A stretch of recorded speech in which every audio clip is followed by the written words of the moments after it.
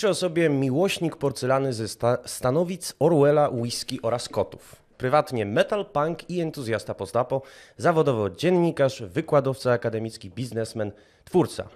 Witam Was bardzo serdecznie. Gościem dzisiejszego Hall of Fame jest Aleks Łuchański. Dzień dobry. E, Aleksy, mamy do przegadania tak naprawdę bardzo wiele tematów i na pewno jeszcze o Gamblera, o Secret Service czy, czy, czy Top Secret zahaczymy. Chciałem się natomiast, no już nie wspominając o Twojej karierze w Playwayu czy w Movie Games. E, zaczniemy natomiast nieszablonowo. Mm, przygotowując się do naszej rozmowy, przeczytałem sobie taki wywiad e, dla Interi, w którym stwierdziłeś, że nieomal sobie Fallouta na klacie wytatuowałeś. No i wielokrotnie wyrażasz e, afekt względem estetyki, konwencji post-apo. Zastanawiam się, czy na 20 lat od teraz, gdybyśmy mieli sobie zrobić taki eksperyment myślowy, jest jakaś gra, no właśnie być może w konwencji post-apo, którą Aleks Słuchański chciałby zrobić? Ja jestem słabym wymyślaczem gier. Jestem e, byłym prezesem e, spółki tworzącej gry, jestem w zarządzie spółki tworzącej gry. Jestem inwestorem w bardzo wielu spółkach tworzących gry i to takim aktywnym, pomagającym, e, angażującym się w ich pracę, ale bardzo wyraźnie wiem, że nie powinienem wymyślać gier. To się średnio kończy. E, to, to jest jakiś dar. Jedni go mają, drudzy nie. E, nie jestem aż tak kreatywny. Mm, jedyna gra, jaką bym jeszcze chciał w życiu zrobić i oby to się nigdy nie wydarzyło, to jest, to jest, to jest gra łącząca elementy folwarku zwierzęcego i, e, i klasycznej gry farmerskiej. To oczywiście na przecięciu George'a Orwella i, i szukaniu takich komercyjnych, nośnych tematów E, wcale nie wiem, czy to by się sprzedało. No, jak wiemy, mamy w Polsce jedną taką przyorwelliańską, bardzo kontrowersyjną próbę Animal Farm, e, za, zaadresowania tego tematu. Nie, nie wiem, też nie wiem, czy to będzie udane. Oprócz tego, że jest trochę głośne, to, to jeszcze przydałoby się, żeby było udane. E, ale trzymam kciuki za każdego polskiego dewa, no prawie. I mm, Natomiast czy, czy, czy ja bym coś wnosił do, do, do postapo? Niedawno z dużym opóźnieniem przeczytałem Drogę e, Cormaca McCarthy'ego. Mhm. E, fantastyczną, gatunkową książkę, a jednocześnie ponadgatunkową, no bo to jest wielka literatura, a nie tylko jakieś tam postapo. No i rzeczywiście, e, co by było, gdyby spróbować podłubać w tym świecie, który jest światem silnie falloutowym, a jednocześnie e, a właśnie silnie postapo, a jednocześnie absolutnie nie falloutowym w takim, w takim, w takim rozumieniu, w jakim Fallout jest, jest zaskakujący, kolorowy, wszechstronny. Ale z drugiej strony, czy ktoś by chciał grać w grę, która się toczy w świecie de facto wymarłym, w którym jest bardzo niewielu NPC-ów, w którym nie ma zwierząt, w którym nie ma przygód, trudne. Więc wejdę ci troszkę w słowo, bo wydaje mi się, że poniekąd y, echa drogi McCarthy'ego możemy i w The Last of Us i w The Walking Dead wyczuć. Przede wszystkim chodzi o te relacje dorosłego mężczyzny, y, który musi opiekować się dzieckiem w tym skarlałym Bardzo słuszna świecie. uwaga. To chyba jest w ogóle ta najlepsza droga, kiedy, kiedy jakiś gatunek sztuki, w tym wypadku gry, bierze coś z innego gatunku, ale nie wprost powiela, nie wprost ekranizuje, tylko, tylko dodaje od siebie. E, mówisz, że nie lubisz gier wymyślać, że nie jesteś w tym dobry. E, przygotowując się do wywiadu, wypytałem sobie naszych wspólnych znajomych, którzy współpracowali z Tobą na różnych etapach tak naprawdę kariery i najczęściej wypisałem sobie epitety, jakie się e, powtarzały, to były przymiotniki tajemniczy, enigmatyczny, małomówny. Jak osobie skromnej, która nie lubi strzępić języka, udało się w tak narcystycznej branży zrobić karierę?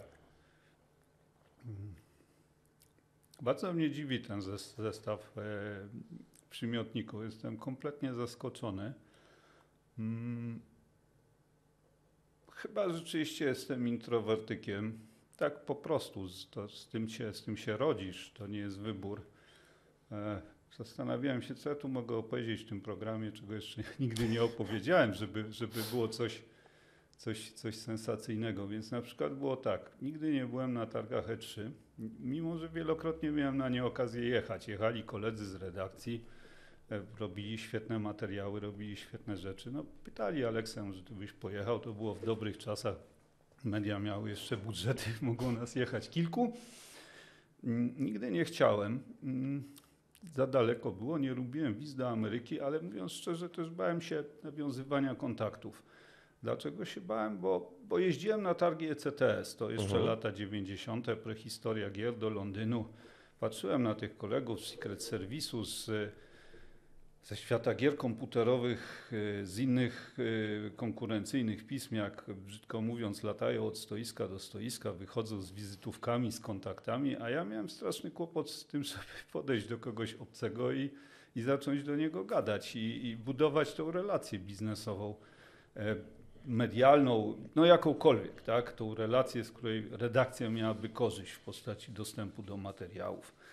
E, Więc, więc to, to tak po prostu jest. Nie jest to chyba mm, sprzyjająca cecha, ale też e, wydaje mi się, że, że, że jakby no, umiem z nią żyć. Czy- zrobił karierę? Nie uważam, że jakąś szczególnie wielką, ale parę razy mi się w życiu udało. Być może to, co można uważać za jakiś rodzaj sukcesu, to to, że od tego 92 roku cały czas gdzieś jestem i coś robię, podczas gdy wielu naszych kolegów albo już jakoś e, zeszło z horyzontu, albo pojawiło się na nim wiele lat później. Mm, Ale czy nazwałbym to od razu karierą? Chyba nie. Mamy problem z tym, że wielu naszych gości i gościń jest bardzo skromnych, e, natomiast w tym wypadku wydaje mi się, jest to skromność nieuzasadniona, e, aczkolwiek dojdziemy do bardzo rozlicznych w ogóle Twoich zasług dla branży. E, Najpierw chciałem zapytać o ten pierwiastek jeszcze twórczy, to znaczy całkiem niedawno mieliśmy no, wielką premierę Kontraband, Kontraband Police, to jest 250 tysięcy graczy w miesiąc, rekord 8 tysięcy równocześnie grających. Ponoć gra uratowała Crazy Rocks przed bankructwem i z tego co wiem, ty się e, zaangażowałeś w jakiś sposób w nią również produkcyjnie, ale kiedy sobie przeglądałem Moby Games, które nie jest najlepszym źródłem, ale jest jakimś punktem wyjścia, twoje nazwisko widzę tak naprawdę przy czterech tytułach. I to jest Last for, for Darkness, e, Special Thanks, Orbital Racer, którego byłeś producentem, Project Remedium producent i Pro Soccer Cup 2002 Polish version. Rozumiem, że to jest boleśnie niepełna lista. Nigdy o to nie zabiegałem, e, nigdy tego nie pilnowałem. Jestem w napisach Kontraband Police, zacznijmy od tego. Jestem z tego dumny. To jest gra, w którą e, jako taki swego rodzaju zewnętrzny producent włożyłem mm, dużo serca, włożyłem też swoje pieniądze E, i byłem bardzo szczęśliwy z tej premiery z wielu przyczyn. Po pierwsze dlatego, że no to taka klasyczna, w dobrym sensie indycza historia. Mały zespół, początkowo trzy osoby, potem pięć, długa produkcja, sześć lat, wiele wątpliwości w trakcie, wiele kryzysów, e, wiele mm, też no, wątpliwości takich, czy oni to w ogóle skończą kiedyś, tak? Ile jeszcze czasu? Prolog opublikowany dwa lata temu według takich książkowych standardów. Za długi odstęp, za, za długi ten finish. Ale jednocześnie ja byłem akurat tym, który konsekwentnie mm, mówił i zespołowi, i, i głównemu właścicielowi: dajcie mu czas, tak? nie poganiajcie, nie wydawajmy tego za wcześnie, to może być coś naprawdę dużego. Wierzyłem w ten projekt, a z wierzeniem w projekt to jest tak, że najczęściej człowiek się rozczaruje.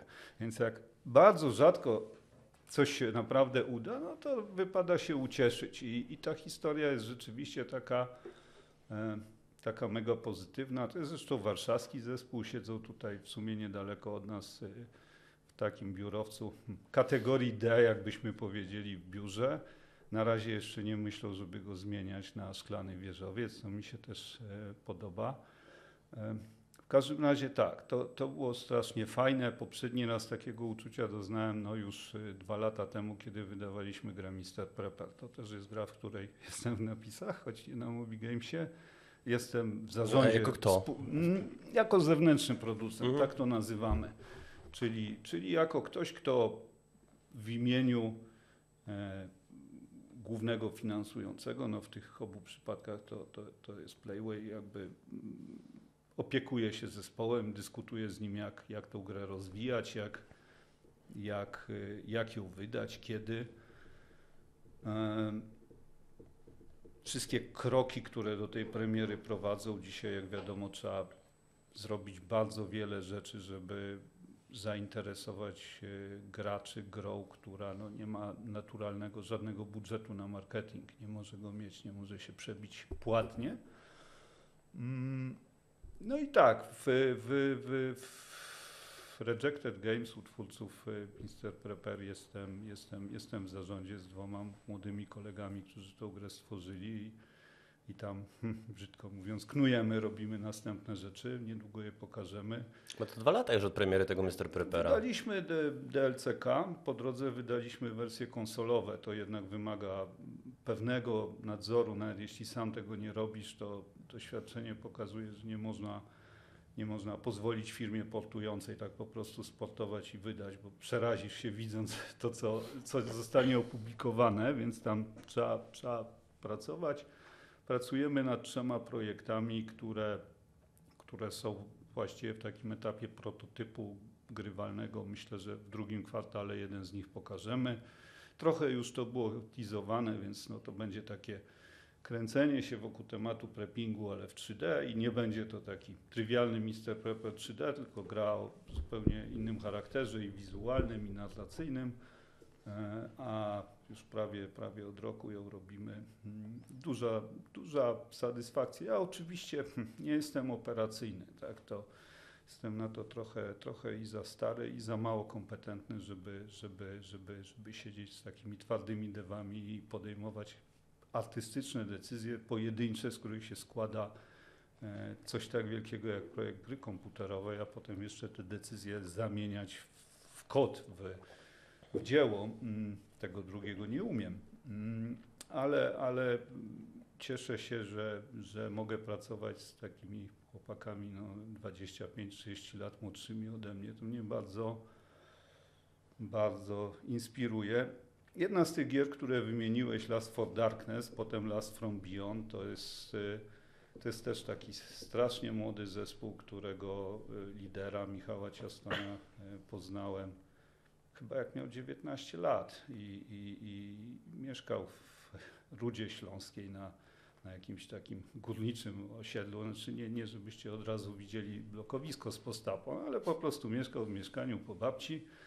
E, robił jakieś prototypy.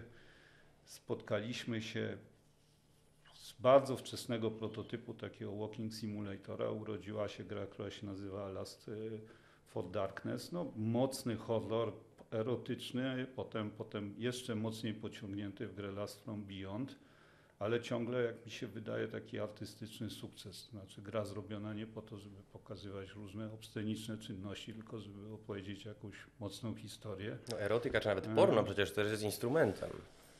No, wyrazu. czasem jest też produktem, tak? Steam jest tą, tą niezwykłą libertariańską platformą, która zupełnie otwarcie, choć troszeczkę za kotarą trzyma gry, których właściwie chodzi tylko o to, żeby e, oglądać różne rzeczy, które... No ale parę razy wejdę ci słowo, no przecież Steamowi się zdarzyło wejść w buty, może nie cenzora, ale jakiegoś e, rzecznika e, poprawności. Myślę tutaj chociażby o grze Rape Day niedoszłej, która miała przecież no, właściwie grywalizować przemoc seksualną. To jest bardzo ciekawe, fajna, fajna dygresja warta rozwinięcia. Jak wiadomo, Gabe Newell jest libertarianinem z przekonań. Jak też wiadomo, libertarianizm no jest, jest, jest rodzajem takiej przedszkolnej utopii, moim zdaniem, Tak, którą kiedyś, kiedyś też jakby może nie, nie wyznawałem, ale przynajmniej z nią sympatyzowałem, jak byłem, jak byłem e, bardziej, bardziej, bardziej pod wpływem Jacka Piekary i Adriana Chmielarza, ale to było w latach 90. No czekaj, wiesz co, od razu się może cofnijmy, bo to jest fajna dygresja, ale y, y, piękny moment na przejście do Aleksego Uchańskiego za młodu, ponieważ O. mówisz, że lubisz się spotykać z młodszymi ludźmi. Jestem ciekaw, jakim ty byłeś młodym człowiekiem, bo wyrastasz z domu, zdaje się, bardzo dobrego. No, Wiesław Uchański jest i doktorem nauk politycznych, i prezesem wydawnictwa Iskry, e, i asystentem sekretarzy PZPR, no i przede wszystkim może y, hipisem. Mam też wspaniałą mamę, która nie ma notki na Wikipedii, ale która Chyba w Axel wywarła- Springer, twoja matka pracowała, dobrze Nie, nie, nie. Mama jest, jest y, inżynierem, pracowała w firmach energetycznych e, przez, e, przez wiele lat i wywarła wielki wpływ na, na mnie. E, no, mam też tatę, który jest osobą publiczną i można na nim, o nim poczytać na, na Wikipedii. I w wielu E, tekstach tak naprawdę. I w wielu tekstach jest, jest, jest do dzisiaj aktywnym uczestnikiem rynku książki. Rzecz niezwykła, że to już czwarta dekada w jednym wydawnictwie właściwie nie ma takiej, takiej drugiej osoby. To wydawnictwo ciągle wydaje nowe książki, czasem znaczące, nagradzane, mimo że jest małym, indyczym, powiedzielibyśmy w naszym języku wydawnictwem. Mm, Ja no znowu, że było coś nowego, chociaż o tym mówiłem. Jakim byłem e, młodym człowiekiem, spotykało się takie określenie, nie wiem, czy, czy, czy się z nim zetknąłeś wśród, wśród ludzi prostych, stary malutki, więc ja byłem takim starym malutkim, czyli chyba byłem dzieckiem, które zbyt wcześnie się zaczęło zachowywać dorośle. Mhm. A potem jak y, jakoś tak się porobiło, że no, z perspektywy powiem zbyt wcześnie zacząłem pracować. Tak? Ja w wieku 17 lat miałem etat w spółdzielni Bajtek, z czego oczywiście z jednej strony jestem dumny e, i stale to podkreślam z dumą, ale z drugiej strony no, a może powinienem był trochę rzetelniej postudiować, trochę mm, trochę więcej czasu poświęcić na różne młodzieżowe zabawy. W wieku 20 lat zostałem naczelnym gamblera, czyli już byłem nie tylko, nie tylko etatowcem od trzech lat, ale byłem szefem zespołu. Do czego moim zdaniem z perspektywy po prostu kompletnie się wtedy nie nadawałem. Prawdopodobnie wszyscy dookoła jeszcze bardziej się nie nadawali, bo to były czasy burzy i naporów, w których po prostu jakby ludzie uczyli się robić nowe rzeczy w nowych warunkach, ale, ale, ale gdybym to wszystko miał jakoś tak, tak streścić, to wiesz, w czasach, w których moi znajomi jechali do Dębek i mieszkali miesiąc na polu namiotowym, y, spędzając ten czas tak jak zwykła to spędzać młodzież na polu namiotowym y, nad morzem w wakacje, no to ja się po półtora tygodnia zawijałem stamtąd, bo był deadline w redakcji, trzeba było oddawać teksty do, e, do następnego numeru i, i nigdy tego nie robiłem z poczuciem jakiejś straty, bo ja chciałem pisać te teksty, chciałem je oddawać, ale jak na to patrzę z perspektywy, to chyba to nie jest coś, co, co jakoś szczególnie napawa mnie dumą. No, ale tak było. Y, Ale mimo wszystko znajdowałeś czas na aktywności stricte młodzieńcze. W jednym z wywiadów na przykład się przyznałeś do kibicowania Legii, a nawet chodzenia na żyletę. Zastanawiam się, jak się czułeś, kiedy y, ci kibice Legii podpalili stadion w ogóle Polonii w latach 90. Tak było. Mm, Jak podpalili stadion, to był dokładnie ten dzień, w którym przestałem być kibicem. I to, i to no, nie dlatego, żebym uważał, że że to, to podpalenie stadionu jest, jest jakąś, znaczy uważam dziś, że jest straszną rzeczą, wtedy, wtedy jeszcze może nie uważałem, że, że aż tak, ale, ale to, to było ogólnie takie traumatyczne wspomnienie, bo to był moment, kiedy Legia weszła do pierwszej ligi, e, wróć Polonia po latach, wróciły mecze derbowe, które miały oczywiście atmosferę świętej wojny. E, Mecz był na Polonii, szedł tłum legionistów wielotysięczny na ten mecz.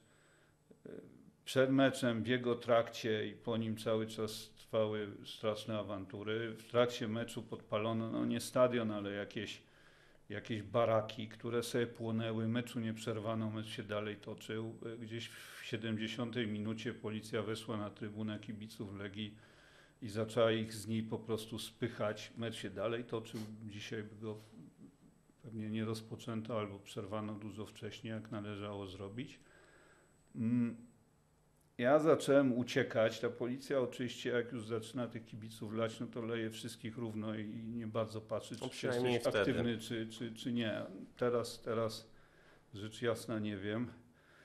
Zbiegłem ze skarpy wiślanej gdzieś na dół. Widzę latające kamienie, widzę brukowce na ulicy. Jest ciekawy widok, rewolucyjny. Nie, nie każdy go może widzieć, kiedy widzisz ulicę zasłaną kamieniami brukowymi. Widzę dym z tego stadionu i nagle do mnie lecą jacyś ludzie z jakimś człowiekiem, którego trzymają pod ręce, a jemu tak krew leci po ramieniu, a oni mi mówią, czy ja mam bandaże. Skąd ja mam mieć do cholery bandaże? No i wtedy pamiętam, pomyślałem sobie trochę obrazowo, co to tak musiało być w powstaniu warszawskim. Że tu dymy, tu, tu szkło, tu, tu, tu brukowce, a tu ktoś krwawi. Oczywiście w powstaniu było 100 razy gorzej. To wiemy. I, I wtedy uznałem, że jakby nawet jeśli jest dość niewielka szansa, że mógłbym tu zginąć, to nie chcę zginąć za to, że jestem kibicem piłkarskim. E, nie chcę też zginąć za to, że zbyt wiele razy widziałem, jak jedni kibice Legii lali drugich kibiców Legii. Nie, nie tych przeciwnych, tylko tych swoich, na przykład po to, żeby im coś zabrać. Więc ogólnie wyniosłem takie przekonanie, które żywię do dzisiaj, że kibice to bandyterka i, i ja jakby nie, nie czuję się dobrze w, w tym miejscu. Słyszę, że to się zmienia, że to się po prostu po 30 latach jakoś zaczyna cywilizować, ale to, to już nie moja historia. Mm, dodam, że chodziliśmy na Legię, bo nasze liceum było tuż obok. Ja chodziłem do liceum Stefana Batorego. Dla mnie ważnego, no bo przez niego, przez mojego kolegę z klasy Andrzeja Bacińskiego poznałem Marcina Przasnyskiego i redakcję Top Secretu. Marcin zresztą też skończył Batorego, ale się tam minęliśmy. E, więc, więc było blisko. Wyskakiwaliśmy na długiej przerwie kupić bilety na mecz, a potem po szkole szliśmy na mecz, jeśli mecz był w środę. Z perspektywy nie wspominam tego jakoś tak e, specjalnie ciepło. A jak wspominasz rozstanie Przasnyskiego, bo może o tym w takim razie pomówmy, skoro wywołaliśmy już wilka z lasu, z Top Secretem, no bo nie jest tajemnicą, że w pewnym momencie dokonał się tam, jak e, ładnie kiedyś usłyszałem, zamach stanu, e, no i z Pegazasem, czyli Waldemarem Nowakiem, próbowano rzekomo spółdzielnie Bajtek w ogóle splądrować. Jest w, tym, w tej plotce ziarno prawdy, czy... Mnie tam nie było wtedy. Ja byłem wówczas mm, autorem debiutanckiego tekstu do tego dziewiątego top secretu, ostatniego, którego Marciny z Waldkiem zrobili. I jedynego, co ciekawe, który miał kompletnie odmienną szatę graficzną. Jeśli mhm. kiedyś przejrzysz te stare top secrety, dziewiąty wygląda jak żaden inny.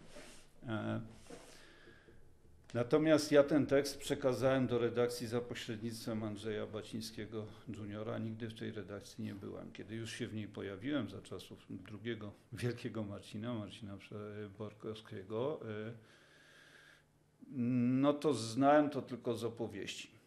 W zależności od tego, z kim się rozmawiało, no bo rozmawiałem z każdą ze stron, to, to, to, to, to każdy miał inną opowieść na ten temat.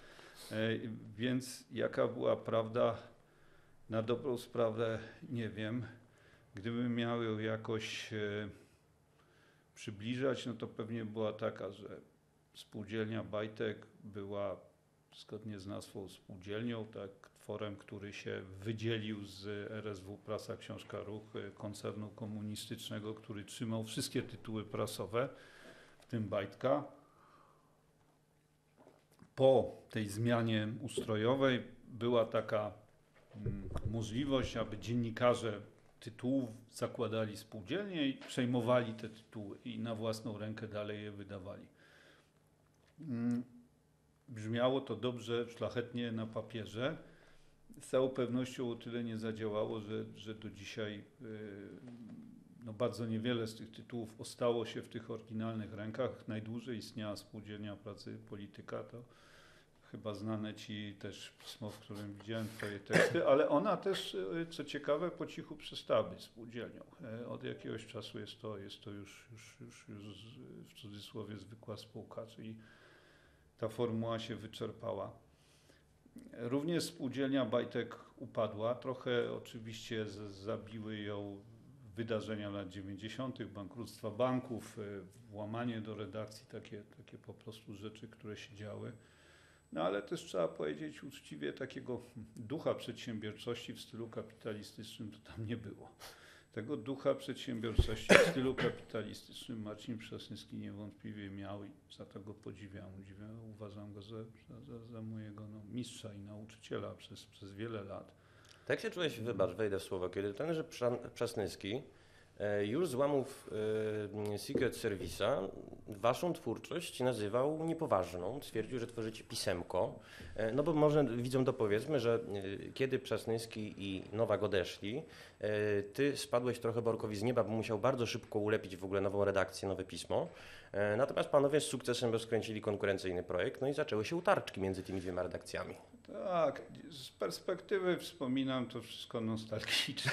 To były takie, to były takie, takie, znaczy utaczki chyba po pierwsze, je, jeśli dobrze traktowane i nie doprowadzone do, e, do ekstremum, są, są po prostu elementem te, te, te, tego sosu.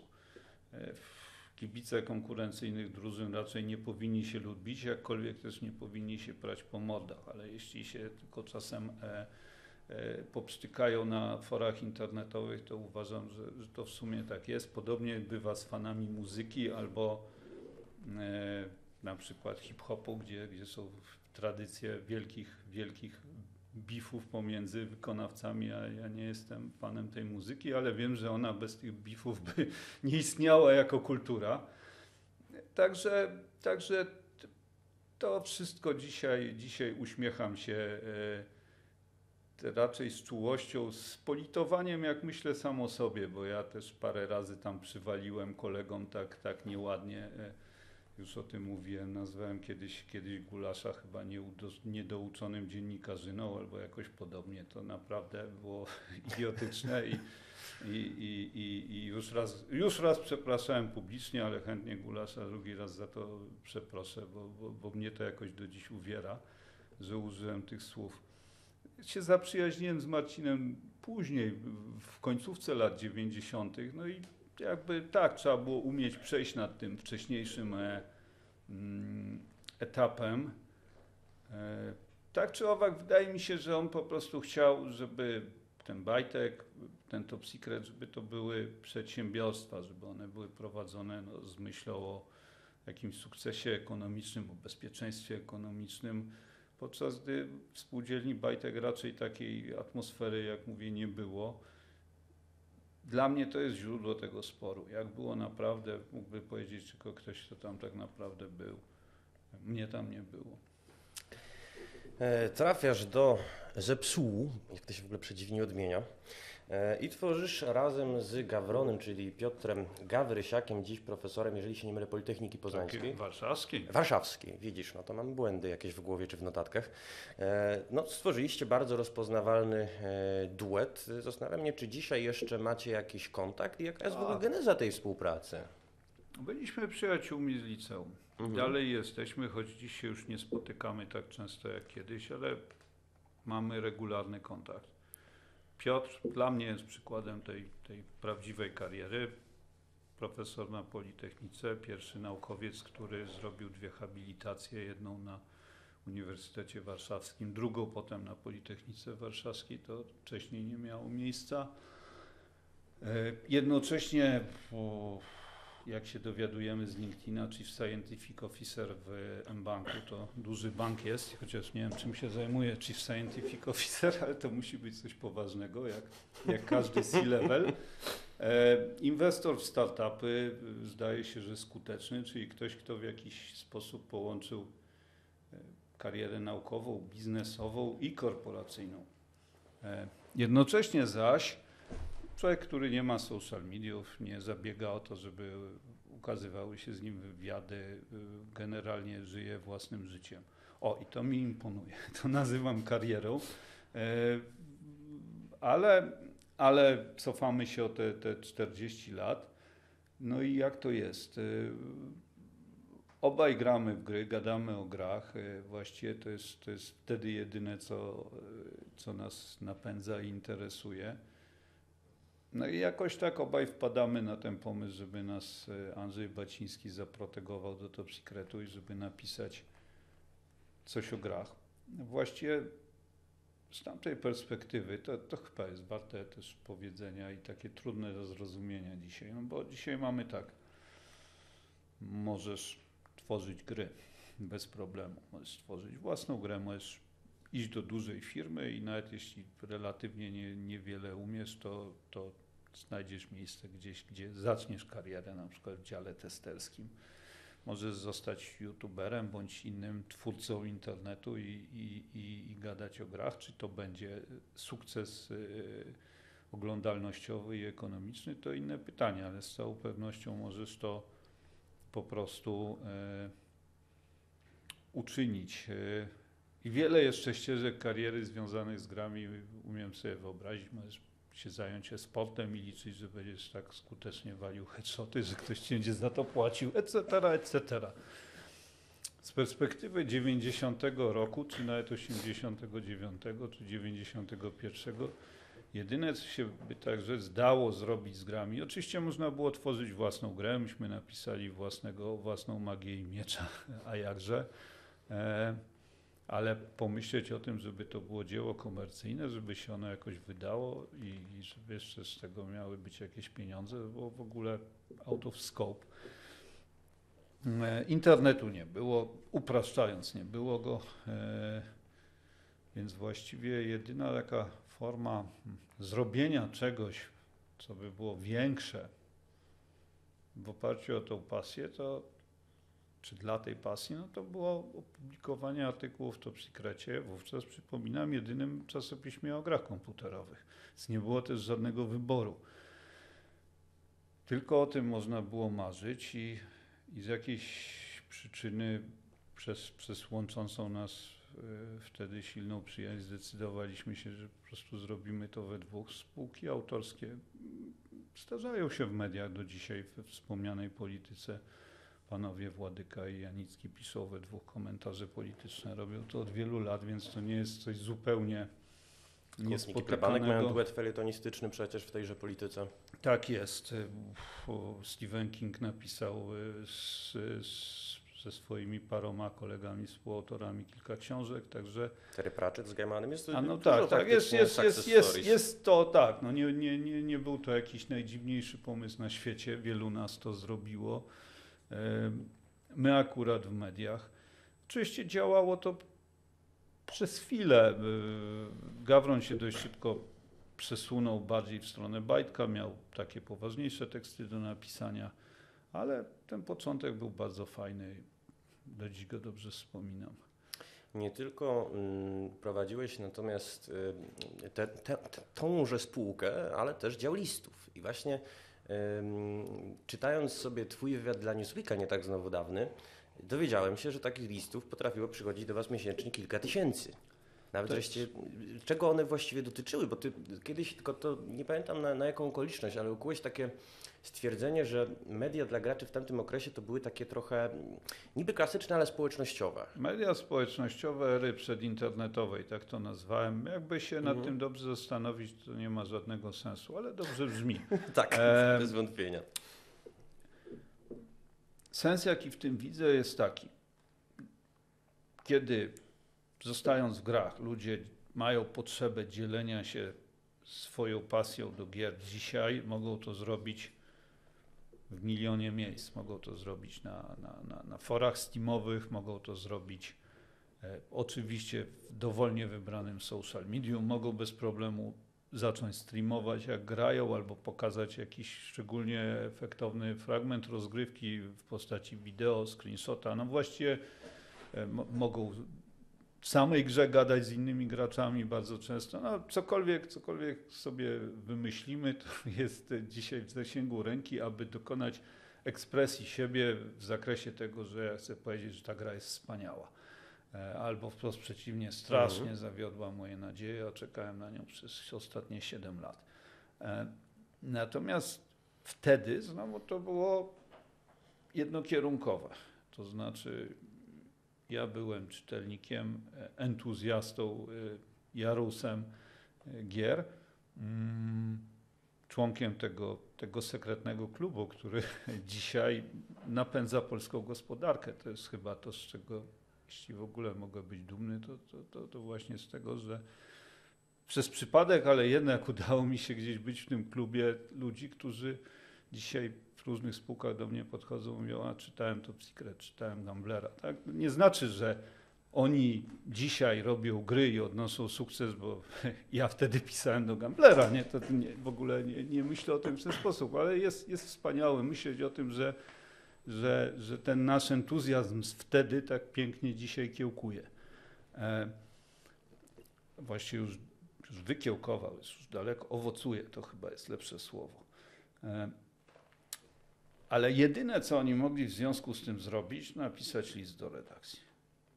No bo, no bo co innego. Mogli jeszcze pewnie gazetkę szkolną zrobić. Wielu robiło fanziny. To o tym też jeszcze się tak dużo nie mówi. Może ktoś się kiedyś na tym pochyli, że, że byli ludzie, którzy po prostu tak kochali gry, że pisali czterostronicową gazetkę i kolportowali ją we własnej szkole.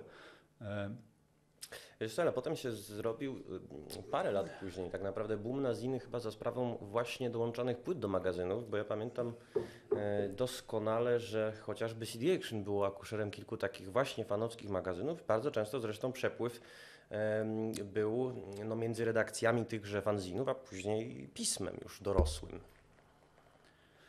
Wszystko, co się zaczęło po roku 95, mówię Mhm. to tak w pewnym uproszczeniu, to już jest rodzaj, e, rodzaj, rodzaj, nazwijmy to wczesnej, ale współczesnej historii e, e, rynku gier komputerowych Mhm. w Polsce, czyli jakby już, już są komercyjne firmy zajmujące się sprzedażą gier, już są kolejni deweloperzy e,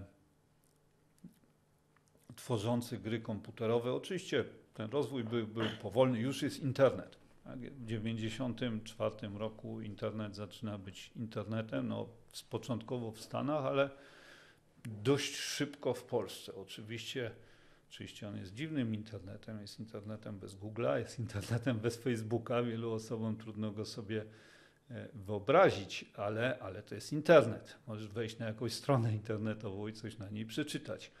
E, Więc, więc to jest już ta współczesna historia. Ale przed rokiem 95 jest taki naprawdę ten słodki moment, w którym ta fizyka tego świata jest zupełnie inaczej ustawiona. Nie ma nie ma internetu, właściwie nie ma komercyjnego rynku. Natomiast są masy ludzi, które grają. E, I, i właściwie w, w tym świecie są hmm, giełdy komputerowe jako miejsca pozyskiwania gier, bezpośredni krąg znajomych, z którymi grasz albo wymieniasz się grami, czasopisma o grach.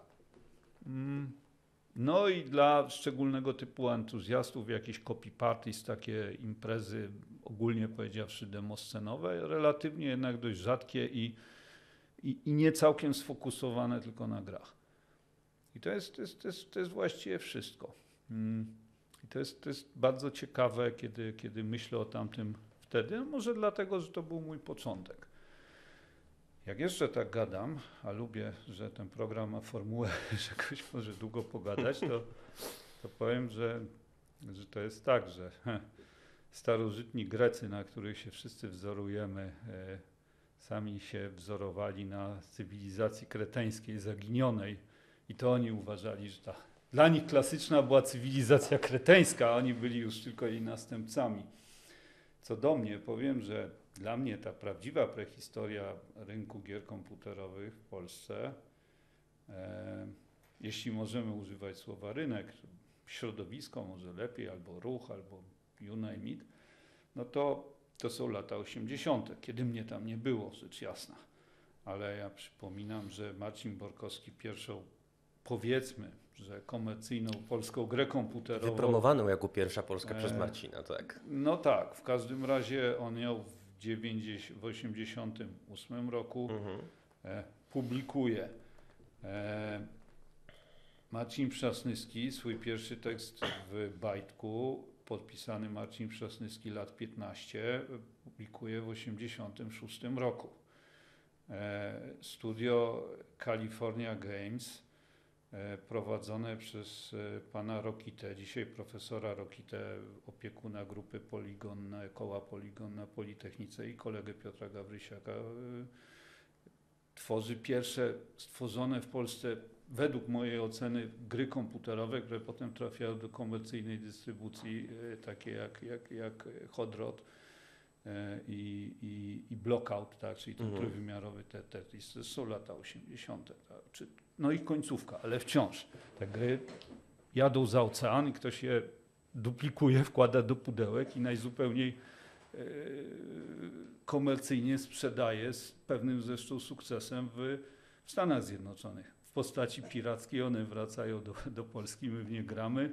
Jeśli ktoś miał wystarczająco dużo cierpliwości, żeby przeglądać napisy gier, widzieć, że tam są same polskie nazwiska, ale wtedy myślimy, ja wtedy myślałem, że to są oczywiście emigranci, że to są jacyś Polacy, co siedzą w Kalifornii od, y, od, od, od 20 lat, tylko się po polsku nazywają. Oni siedzieli kilometr ode mnie i robili gry. Ale i to są wszystko lata 80. Tomasz Mazur do dzisiaj aktywny jako, jako prezes jednej ze spółek y, tworzących Był gry. naszym gościem również. Tomek zaczyna handlować grami w 1988 roku. Według mojej oceny jest po tej stronie czysto komercyjnej no, najstarszym, ciągle nieprzerwanie obecnym w tej branży e, w sensie stażu. Nie, nie patrzę w metryku, Tomek wiecznie młody, ale więc, więc dla mnie to te, te lata 80. to jest ten, ten, ten mityczny czas, kiedy to już wszystko, a to wszystko się dzieje w komunizmie. ZOMO na ulicach, cenzura w gazetach, tak, jaruzelskich telewizji, a, a tu ludzie grają w gry komputerowe i o nich piszą i to mi dopiero daje mindfucka, jak to było możliwe, jest ale zresztą piękne. No zobacz, jaką właśnie wspaniałą eskapistyczną rolę mają gry wideo, że właśnie w momentach kryzysów, y, no chociażby mi przychodzi do głowy y, pandemia, Tak. potrafią nas, y, no, no właśnie, możemy sobie w ten świat trochę uciec. Nie tylko, y, ale y, dobrze, bo wspomniałeś o tej dacie 95 roku, która jest y, ważna z dwóch przyczyn. E, Po pierwsze, zmieniasz barwy klubowe, tak jak już wspomniałeś, mm, stajesz się naczelnym gamblera, ale po drugie, ma miejsce chyba pierwsza gra, w której Kredicach rzeczywiście jesteś, premiera jej. ach, Teenager. Tak jest. To był początek, no właśnie, trochę się przytykaliśmy z, z chłopakami z Secret Service'u, ale ja, ja zawsze dbałem o to, żeby to nie było kibicowskie, więc e, kolegowałem się z Gulaszem, jeśli mogę użyć tego słowa, z Piotkiem Mańkowskim Miczem, myślę, że, że wręcz przyjaźniłem. E, Również wtedy. No i nagle, nagle dzwoni Gulasz i mówi, słuchaj, y, Będziemy robić wersję CD Teenagenta. Teenagent to była gra Adriana Chmielarza, studia Metropolis, które, jak przypominam, y, no, poza Adrianem też, też, też wykształciło ludzi, którzy stworzyli 11 bit studio. Braci Miechowskich i no właściwie, właściwie, właściwie większość jeszcze dzisiejszego zarządu bitów to, jest, to, jest, to są pracownicy e, e, Metropolis. Mm. Ciekawa sprawa, z nimi też zrobiłem trzy gry, czy cztery w, w początku lat e, zerowych, w tym ostatnią edycję skoków narciarskich z Adamem Małyszem oni zrobili dla, dla nas i zdecydowanie najlepszą, dodam od siebie. E, więc o nich też pamiętam, jak siedzieli, siedzieli w biurowcu kategorii D, gdzieś, gdzieś na, na, na, na bielanach przemysłowych i, i było ich pięciu czy sześciu e, i robili, robili wtedy chyba siódmą czy ósmą grę e, w swojej historii jako, jako zespół. E, Z tych pięciu czy sześciu, no to tak do niedawna chyba pięciu było zarządem bitów, tak Grze- Grzegorz już, już, już, już, już nie, wcześniej Bartek Brzostek nie, Mm, ale, ale, ale, ale tak, to jest, to jest miło powspominać, zwłaszcza, że wtedy hmm, no chyba można powiedzieć, że mało kto w nich wierzył. Nie wiem, czy sami w siebie wierzyli. To był w ogóle projekt, twórca- jasne, no by bardzo wiesz, y, w każdym razie, w każdym razie tak, trochę skaczę, ale, ale to, to wspomnienie jest we mnie żywe. A, a tu mamy Teenagenta, no wiadomo, tajemnica statuetki, pierwsza gra Adriana i Metropolis to, to jeszcze taka gra z wieloma silnymi ograniczeniami, ale Teenagent to już taka gra z jakby ambicją do pełnej ówczesnej skali gier przygodowych. E, Plus pojawia się rynek na gry wydawane już nie na dyskietkach, tylko na CD. Pojawia się firma, która mówi, że już nie będzie handlować w ogóle żadnymi grami na dyskietkach, tylko grami na CD i przyjmuje nazwę CD Projekt. E, pierwsze biuro na Wiejskiej, jakiś, jakiś kilometr stąd, gdzie siedzimy, na piątym piętrze bez windy. Pamiętam wejść tam, było bardzo ciężko, a pokoik był mniejszy od studia, w którym, w którym e, dziś się znajdujemy. A nie jest to studio wielkie, A dopowiem. nie jest to studio wielkie. Tam się z trudem mieściło dwóch założycieli tej firmy, dziś, dziś dobrze znanych chyba wszystkim Polakom. No i że oni w ramach różnych eksperymentów, które wtedy śmiało podejmowali, to chcą właśnie wziąć grę Teenage Agent i zrobić do niej voiceover, wydać ją na płycie CD. Chyba był to zresztą pierwszy tytuł, że ci wejdę słowo polski, w którym się w ogóle pojawiła polska lokalizacja pełna. Było to przedmiotem jakichś debat, w trakcie których ustaliliśmy, być może nieściśle, że była jakaś polska gra atarowa, w której syntezowano dosłownie pojedyncze słowa. Mhm. Graj, strzelaj, nie wiem, takie rzeczy. W tym sensie być może jakaś polska gra komputerowa mówiła po polsku wcześniej, ale pojedyncze słowa. Ale widzisz, nie jesteśmy w stanie przypomnieć sobie jej tytułu, a historię piszą zwycięzcy, więc myślę, że możemy dla potrzeb rozmowy. Zawsze, zawsze tak jest, zawsze tak jest. Wszystko wskazuje na to, że to nie bracia Wright pierwsi polecieli maszyną cięższą od powietrza. Tak? Charles Lindbergh był 37 osobą, która przeleciała nad Atlantykiem i, i, i wiele jeszcze takich rzeczy można wymieniać. Tak? Czy owak no i ten pomysł jest taki, żeby do tego teenagenta podłożyli głosy y, dziennikarze z magazynu o grach komputerowych, oczywiście za darmo, ale oczywiście dzisiaj pewnie by się można zastanawiać, czy niezależność dziennikarska pozwala na tego rodzaju udział w takim projekcie, chociaż oczywiście dzisiaj niezależność dziennikarska też już coś innego oznacza niż, niż kiedyś. W każdym razie przychodzi zaproszenie, no i, no i y, tak, Gulasz jest y, teenagentem, ma główną rolę, nagrywa piosenkę, nie wiem czy ta piosenka jest gdzieś Jest. na YouTubie. Słynny rap. em, Wiesz co, cytowałem go nawet Grześkowi Miechowskiemu, jak do nas przyszedł, no zresztą do tego studia. Nie pamiętam już słów, natomiast y, no, warto odszukać. Wtedy mi się ta piosenka podobała, mimo że nigdy nie byłem fanem hip-hopu, teraz boję się sprawdzać. W każdym razie e, oczywiście jednocześnie Gulasz jest głównym producentem, e, jak to ładnie mówimy, ogarnia to wszystko. Studio nie jest takie ładne jak to, w którym siedzimy, ale był dość podobny mikrofon.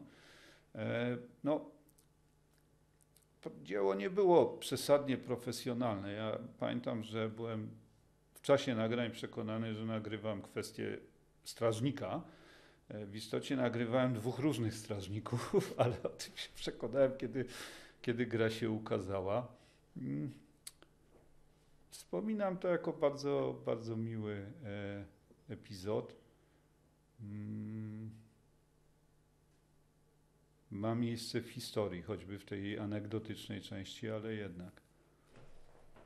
95 rok to jest nie tylko ten epizod przy Teenagencie, ale też, y, no, o czym już trochę powiedzieliśmy, podjęcie przez Ciebie nowej pracy.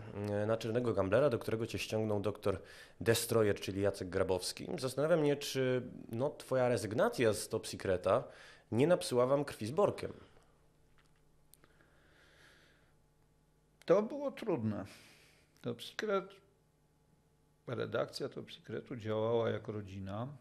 Mm, Tak to wspominam, tak to było. Myśmy tam nie byli dla pieniędzy, zresztą pieniądze nie były, nie były wielkie. Myśmy tam się rzeczywiście hmm, świetnie czuli ze sobą. Tak, takie jest to moje wspomnienie i, i potem już nigdy tak nie było. Potem to już zawsze była praca, oczywiście z jakimiś elementami sympatii międzyludzkiej, ale jednak miejsce wykonywania pracy. To Secret to było coś innego. Mm. I z całą pewnością, no ja zdradziłem tą rodzinę, odchodząc e, do konkurencji. Dlaczego to zrobiłem? No bo czułem, że to się już kończy. Czułem, że hmm, używając, e, używając języka Stephena Kinga z, z jego cyklu Mroczna Wieża, świat poszedł naprzód i, i, i, i coś takiego się stało, że, że, że my z tym top secretem, no, po pierwsze już jesteśmy tacy coraz mniej ważni dla ludzi. Ten Secret Service ukradł nam show, wchodzą te nowe pisma. A, a po drugie, że to zwyczajnie się jakoś takie wszystko robi stare, że, że, że, że jakoś no nie nadążamy za rynkiem, brzydko mówiąc. Tak, i że właściwie trzeba by, trzeba by spróbować z kimś, kto ma właśnie tą siłę ekonomiczną w rękach. Mm. Plus Plus był Jacek Grabowski, doktor Destroyer, który na mnie kolosalne wrażenie robił. Wtedy pojawił się na Facebooku parę lat temu, niestety znikł, chyba nikt nie wie, co się z nim dzieje. E, w każdym razie e, tak przyszła ta propozycja, przyszło stanowisko wicenaczelnego, to zawsze szlachetnie brzmi i, i rzeczywiście był to dla nas trudny moment taki osobiście, mm, ale Parek jest mądrym, szlachetnym człowiekiem, za takiego go uważam. Mój pierwszy szef e, i, i pierwszy z wielu moich szefów, od których mogłem się uczyć, przy których mogłem się rozwijać. To, to jest moje wielkie szczęście, że miałem w ogromnej części dobrych szefów, a a właściwie od każdego z moich szefów mogłem się czegoś nauczyć. E, jak robić rzeczy albo, albo jak ich nie robić, a to też jest cenna wiedza. I, i Borek był pierwszym z nich. Już parę lat później zdecydował się dołączyć jako felietonista do Gamblera, więc e, by tak rzec, no, e, chyba chyba, chyba sobie wszystko wybaczyliśmy, ale tak. No ale tego, to... z tego gamblera podobno wyrzuciłeś, bo faktycznie go ściągnąłeś, żeby, mm, to się nazywał cykl, e, zaraz mam to gdzieś w notatkach, widziany z zacisza na czernym tak. stanie spoczynku. E, dlaczego właściwie podziękowałeś mu za współpracę? Nie przypominam sobie, bym to zrobił, ale mogło tak być. Znaczy, mhm. Nie umiem zaprzeczyć. Wydaje mi się jednak, że był z nami do końca. Ale jeśli podziękowałem mu za współpracę, to, to dzisiaj w ogóle nie umiem sobie przypomnieć, a że to zrobiłem, b dlaczego. Jak przez mgłę pamiętam, że mi Borek tłumaczył, że on się też czuł troszeczkę już na uboczu branży, nie czuł takiej właśnie pary niezbędnej do tego, no i nie czuł kontaktu przede wszystkim z nią, a to był okres bardzo dynamicznych przecież przemian. Sam mówisz, że właściwie ten 95 wyznacza nam nową epokę, jeżeli chodzi Musiał, o branżę. No tak, niewątpliwie pisał jeden tekst miesięcznie. To jest trudne. Ja sam się z tym borykałem e, za czasów Pixela, kiedy, kiedy nie zawsze byłem przekonany, że mam coś wystarczająco ciekawego, żeby to napisać miesiąc po miesiącu. E, I to jest, to jest problem felietonisty. E, ludzie czekają, redakcja czeka, a ty czujesz, że, że, że, ten temat jest po prostu niewystarczająco dobry sam w sobie. Można to jakoś ograć żartami, ale, ale wciąż chciałbyś mieć jakiś przekaz, choćby, choćby, choćby, choćby krótki. Mm, więc odpowiedź, czy go usunąłem, brzmi za diabła, tego nie pamiętam. Jeśli on to tak pamiętam, mogło tak być. E, chociaż chociaż e, mamy z taką podwójną pamięć z Borkiem. E, na przykład było takie wydarzenie, jak on kończył 30 lat, to dla mnie wtedy był strasznie stary, bo ja pewnie miałem 20, nie, nie miałem jeszcze 20, miałem 18 i, i, i padł taki cytat, że skończył 30 lat i ciągle się dobrze zapowiada. Ja teraz, ja jestem w 100% przekonany i do dzisiaj dam się pokroić, że to Borek sam o sobie powiedział, ale w jego wspomnieniach, to ja to powiedziałem o nim i to było podszyte złośliwością. E, I ponieważ prawdopodobnie tylko od nas dwóch było wtedy na sali, to już nigdy historia nie, nie ustali, które wspomnienie jest prawdziwe. Więc i tutaj pewnie już będzie bardzo ciężko mm, odtworzyć, czy, Mnie się zdawało, że był z nami do końca, ale być może, być może było inaczej. Na pewno był z nami dość długo. A jaki miałeś pomysł na to pismo? Bo y, patrząc na Twoją kadencję, mamy z jednej strony Gamblera, który jest trochę pozbawiony tych wszystkich pozagrowych y, aspektów, które no, czyniły tożsamość tego pisma. Z drugiej strony, ze względu też na obecność Jacka Piekary y, w redakcji, pojawiają się takie felietony, jak wynotowałem sobie Randall zostaje Żydem i pedałem, Randall zostaje o. czarnuchem oraz słynny tekst o rodzajach kupy. Tak, to znowu, jeśli chodzi o rodzaje kupy, to, to, to mnie prześladuje do dzisiaj. Jeśli chodzi o Randala, to jakby nie pamiętałem tych tytułów, które dzisiaj no już jakby brzmią kompletnie obscenicznie.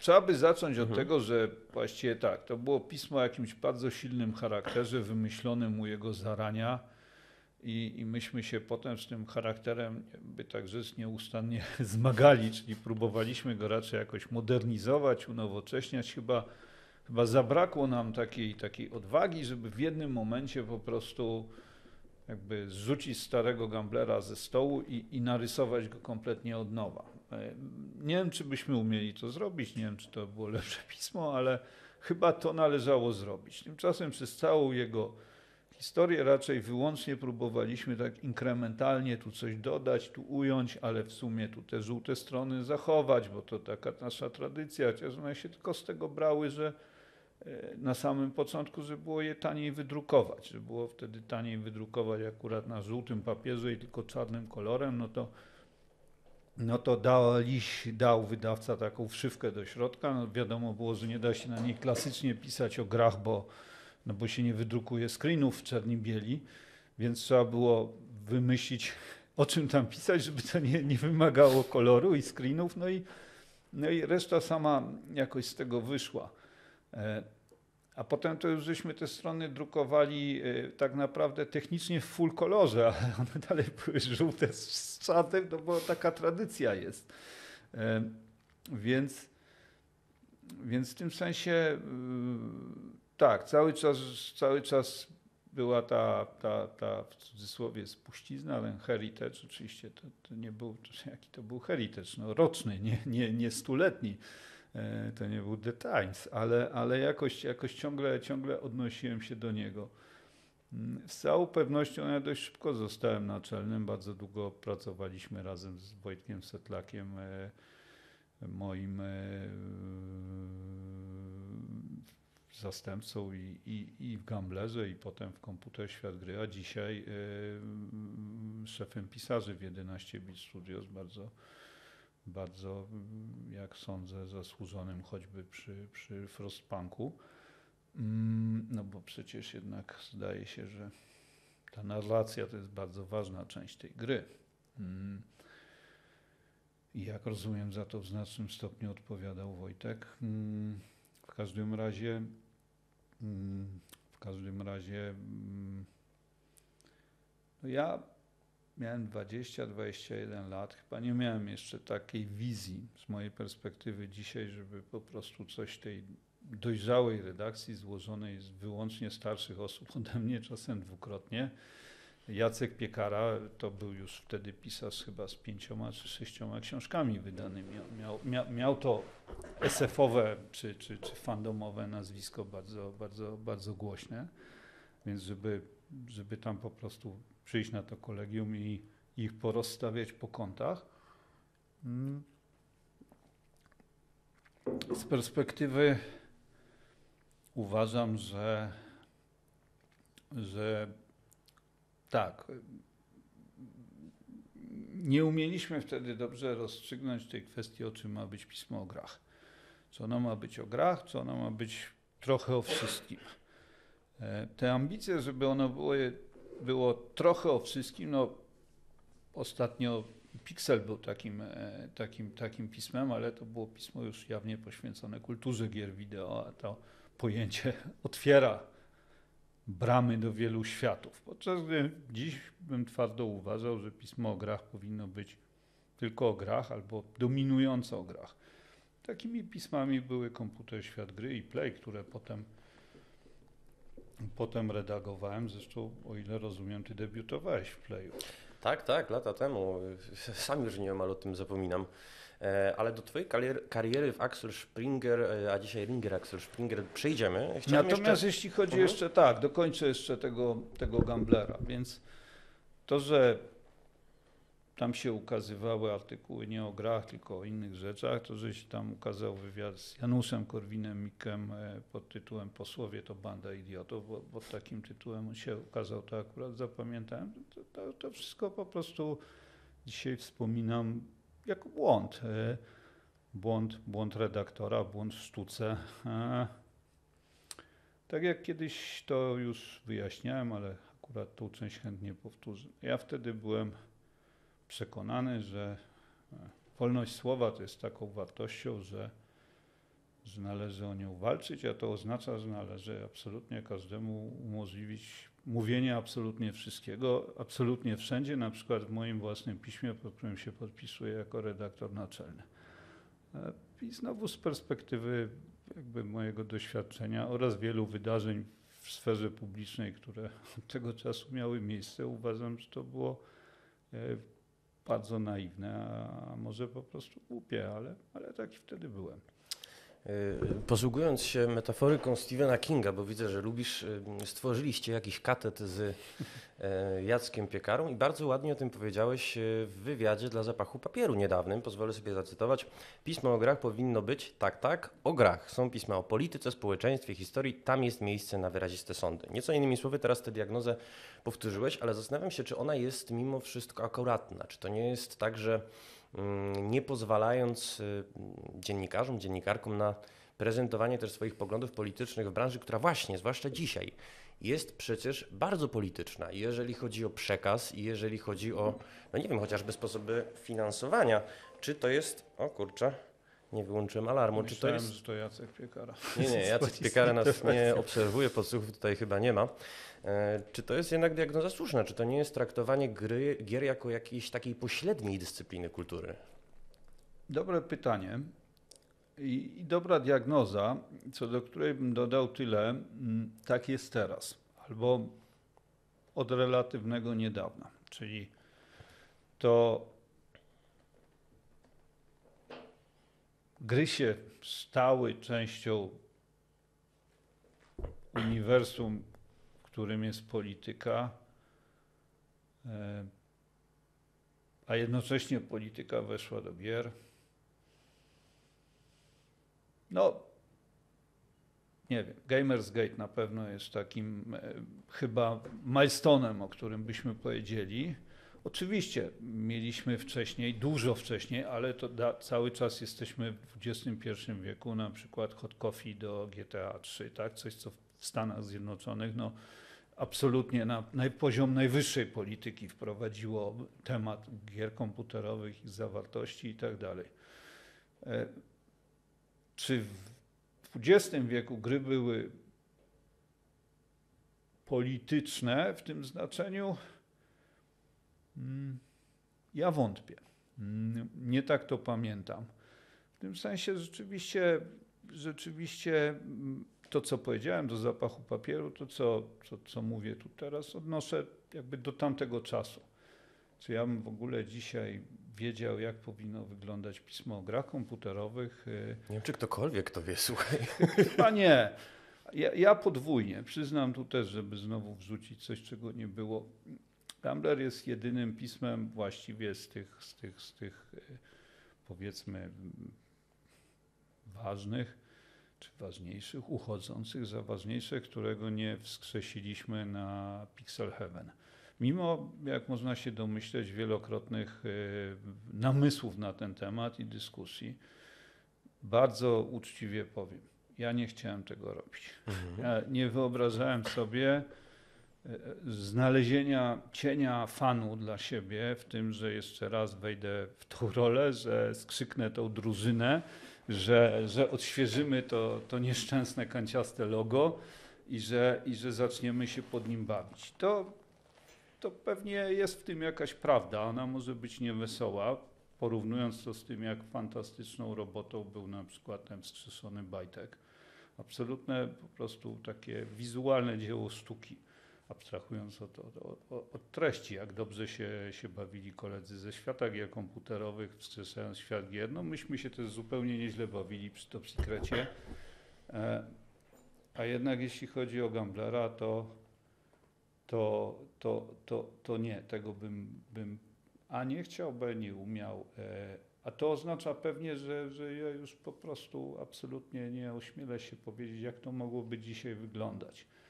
Więc z dzisiejszej perspektywy to, że, że, że w tych e, mediach, w których wszystko się ze sobą, by tak rzec, miesza, tak, zarówno w social media, tak jak, jak, jak TikTok czy, czy Facebook, jak i w tych, w tych nieco bardziej klasycznych te tematy gier bardzo, bardzo jawnie po prostu splątują się z tematami politycznymi, a mamy tu jeszcze, nie wiem, Forczana na przykład i rolę jego, jego aktywnej społeczności. No, choćby w wyborach, których Trump wygrała, ta rola zdaje się była zupełnie istotna. Zresztą przecież Trump był tym prezydentem, który zaprosił do e, Białego Domu między innymi przedstawiciela ESA i chyba tej KTU, żeby mm, zaprezentować im kolaż e, brutalnych ujęć z gier wideo, chcąc e, obwinić producentów brutalnych gier za no, na przykład masakrę w Parkland.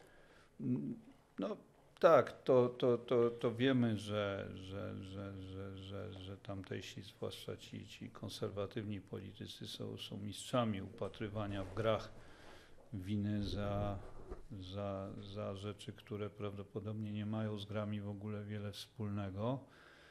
Mm, ale jednocześnie też wiemy, że, że, że jest taka frakcja szeroko pojętych fanów gier komputerowych, no bardzo już siłą rzeczy niejednorodnego środowiska, które które oprócz tego, że kocha w różne gry grać, to jakby absolutnie idzie, idzie ścieżką tych, tych tipatowych e, poglądów politycznych i, i oni potrafią być bardzo aktywni w, e, we wspieraniu no, prawicowych ruchów politycznych. Tak, to, tak, tak, tak się stało, tak po prostu jest.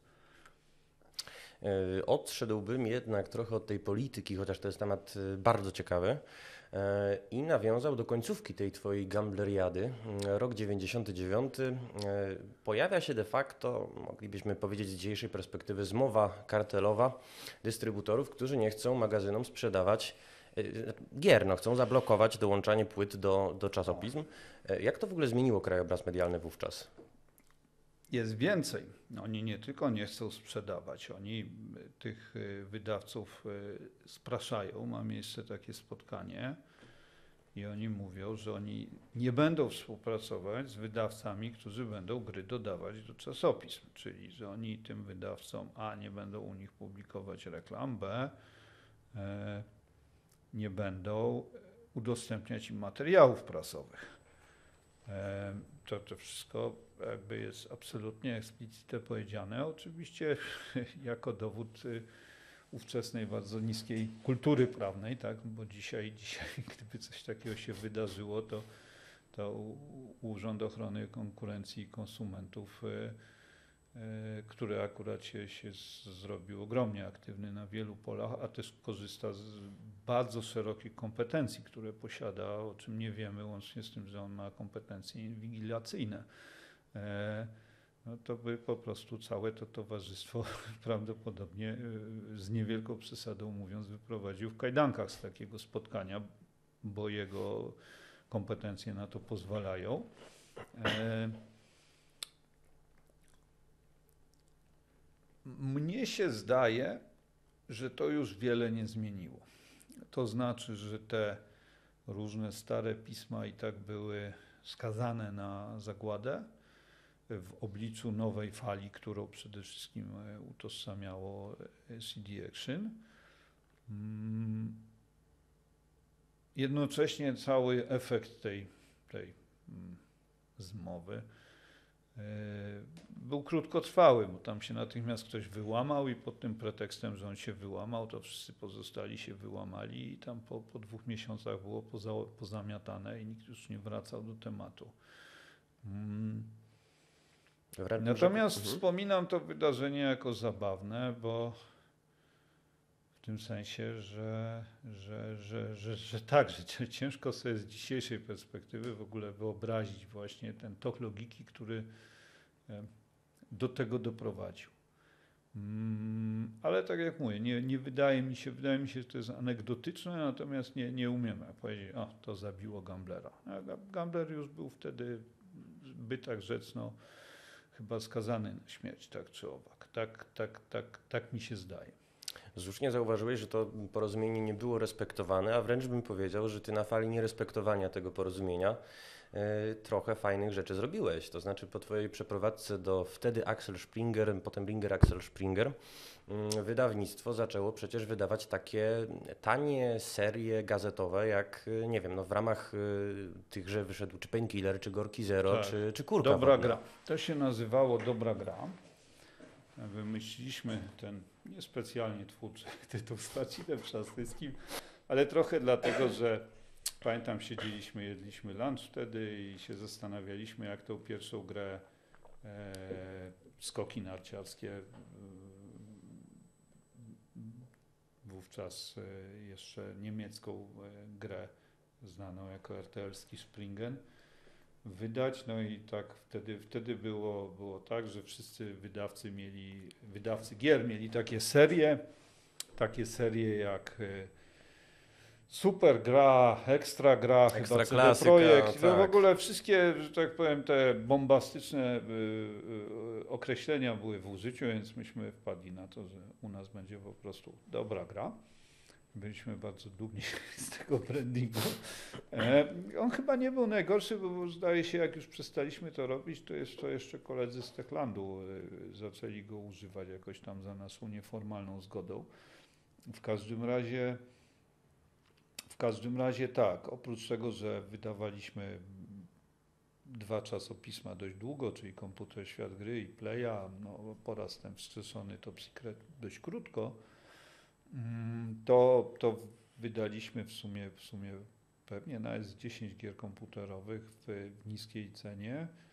E, I oprócz tego, że, że, że no to, to, to były skoki narciarskie z Adamem Małyszem przez kilka sezonów, to rzeczywiście tak był, był Painkiller e, i bezpośrednia współpraca z Adrianem Chmielarzem, bo, bo jakąś taką umowę miał Adrian Chmielarz e, ze swoim wydawcą kanadyjskim, ale nie pamiętam jak on się nazywał. Joe, ale to był chyba niemiecki. Nie, jeszcze nie, nie, nie, nie. To jest jakiś Dreamcatcher chyba, czy ktoś był taki, ktoś taki wydawał, no. wydawał Painkillera, ale mogłem coś pomieszać. W każdym razie Adrian sprzedał tego Painkillera na cały świat z wyjątkiem Polski, przez to miał swobodę wyboru, kto w Polsce te e, tę grę wyda. No, przeprowadził jakiś przetarg, myśmy go, myśmy go akurat wygrali. Pamiętasz, jakie nakłady mniej więcej mm, oferowaliście? Skoki narciarskie sprzedały e, w szczycie ponad ćwierć miliona kopii, co biorąc pod uwagę, że sezon sprzedaży no to był tylko, tylko tam grudzień do marca, no to była kolosalna liczba. Jeśli chodzi o Painkillera, wydaje mi się, że na pewno ponad 100 tysięcy. Tam była też jakaś złota edycja potem wydawana, nie pamiętam już tego dobrze. Wydaliśmy też Gregorki Zero i Gregorki Zero 2 i to były właśnie dwie gry zrobione z e, jeszcze ówczesnym Metropolis Software House, oczywiście już bez Adriana, ale, ale z Grzegorzem Miechowskim na czele i Bartkiem Brzostkiem. Mm. Potem zrobili dla nas ostatnie skoki narciarskie, bo skoki narciarskie dość szybko zaczęliśmy robić jako, mm, jako grę produkowaną w Polsce. Najpierw produkowała ją dla nas taka firma LART e, i byłem bardzo niezadowolony z tej gry, podobnie jak, jak, jak, jak wielu graczy. E, firma, firma raczej efemeryczna i, i nie przetrwała, ale co ciekawe, jak ustaliłem po latach, po prostu czytając jakiś wywiad, to wtedy w niej debiutowali e, dwaj twórcy, którzy potem przeszli z niej do firmy Techland, a potem założyli taką spółkę Creepyjar i stworzyli grę E, dość, dość, dość e, nam znaną e, Green Hell. Green Hell, tak, ogromny sukces i, i o, ile, o ile pamiętam, to oni obaj byli, stawiali pierwsze kroki w larcie, choć wtedy jeszcze ich, nie no pewnie ich poznałem, ale no nie, nie byli liderami, po prostu, po prostu coś tam, coś tam robili przy tych skokach. E, także tak to się, to się e, plecie. Ja byłem, tak, byłem zadowolony z tej pracy w Springerze w takim sensie, że hmm, trochę byłem dzieckiem tych lat 90., czyli, czyli, czyli tego takiego pokolenia, które uważało, że ten komercyjny sukces jest ważny. No i, no i miałem na niego straszną ochotę, a ponieważ jakby i w Top Secrecie i ostatecznie w Gamblerze się nie udało, to byłem tak w 100% zdeterminowany do tego, żeby zrobić coś, co po prostu będzie się dobrze sprzedawać, będzie zarabiać pieniądze. Przy okazji to nie, nie, nie, nie zawdzięczało tego reklamie. To nie były pisma, które miały jakieś masywne kampanie telewizyjne. One po prostu miały fajną zawartość, dobrą cenę. Mm.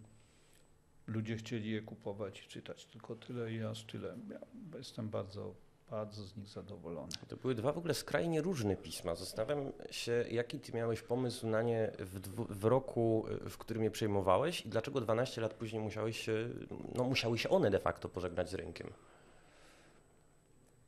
To drugie pytanie jest takie, chyba po prostu czasopisma, szczególnie czasopisma o, o szeroko pojętych nowych technologiach, no, nie mają racji bytu. Z wyjątkiem tych targetowanych bardzo mądrze, takich jak Wired na, na, na zachodzie, rzecz jasna, albo, albo no właściwie w Polsce już, już, już ciężko coś, coś wymienić, tak? Koledzy próbują jeszcze e, w CD Action, w PSX Extreme, no ale wydaje się, że to jest raczej pytanie o to, jak długo. Mm. Więc, więc po prostu taka była kolejność rzeczy. Tego się nie dało zmienić ani, ani uratować, tak sądzę. Dlaczego były dwa różne? Hmm. No, po pierwsze, oczywiście, bo jak były dwa, no to chcieliśmy, żeby się bardzo wyraziście od siebie różniły. To nie ma sensu robić dwóch podobnych.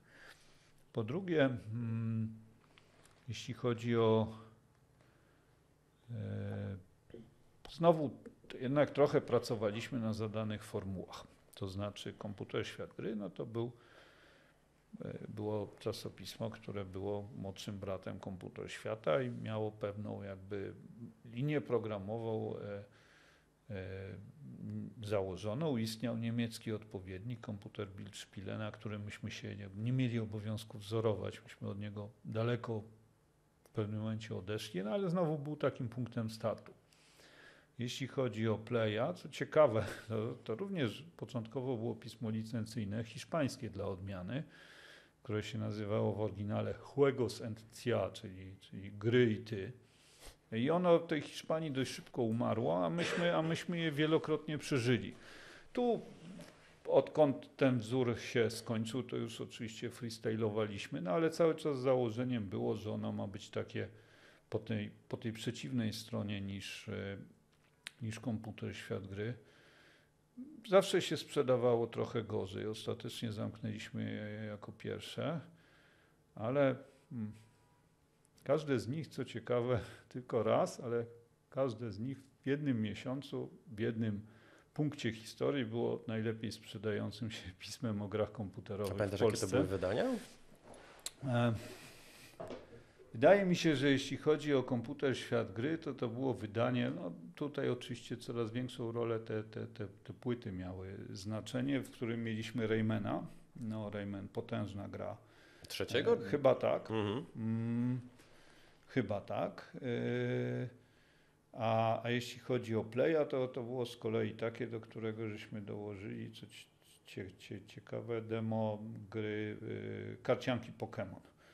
Była karcianka Pokémon, która z jakiejś przyczyny doczekała się dema w formie, czy też takiego promo w formie dysku CD. Gry komputerowej, czyli mhm.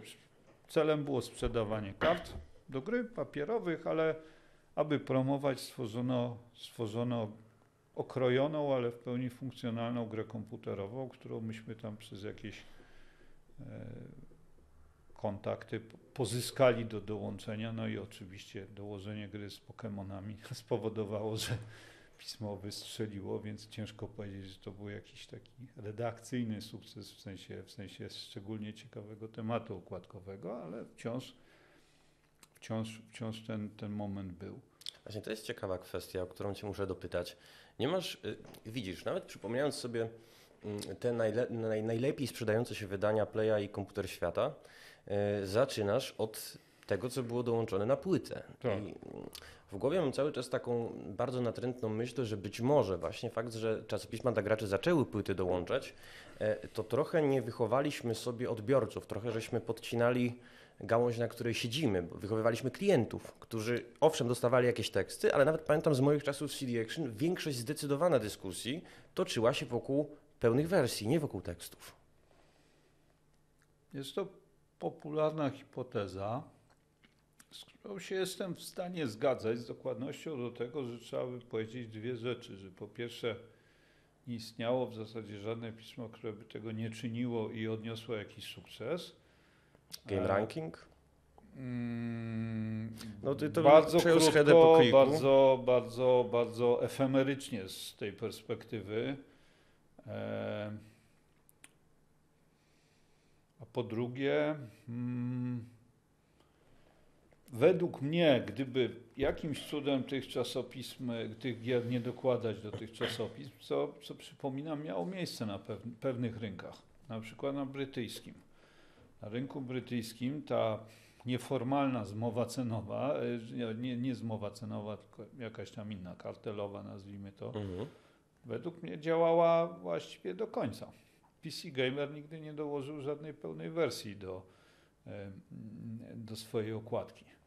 E, I według mnie no, skończyłoby się tylko szybciej. Mm, Czyli, czyli, czyli ja, ja- ja bym odwrócił wektory. Gdybyśmy mieli tylko treści e, bez tego wabika w postaci darmowej gry, to, to Mhm. prawdopodobnie tym szybciej ludzie by powiedzieli, dobra, ja te, te treści mam w internecie. Przypominam, serwis gry online został założony w 2000 roku, tak, i, i bardzo szybko zaczął być bardzo kompletnym, bardzo, bardzo dużym serwisem. Może w 2001, nie pamiętam dobrze, ale, ale jakby gdzieś, gdzie, gdzieś tam, Mhm. gdzieś wtedy.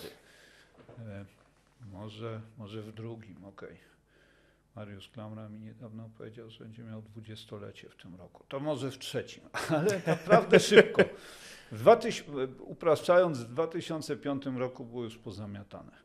W 2005 roku tą samą e, recenzję tej samej gry z bardzo małymi przypadkami, że rzeczywiście recenzent tą grę dostał, nie wiem, wcześniej ograł gdzieś tam w siedzibie spółki, która ją tworzyła jeszcze przed wydaniem, mogłeś przeczytać za darmo w internecie, być może w dodatku co najmniej równie kompetentną. Albo na przykład bardziej obszerną, no bo No a skoro Polacy wówczas nie mieli w ogóle problemu z korzystaniem pirackich gier, no to tym bardziej wyobrażam sobie, że nie chcieliby płacić za teksty, nawet jeżeli by były wielokrotnie lepsze. Może faktycznie trzeba było e, no, jakiegoś, jakiejś dojrzałości nas, odbiorców, której wtedy nie było.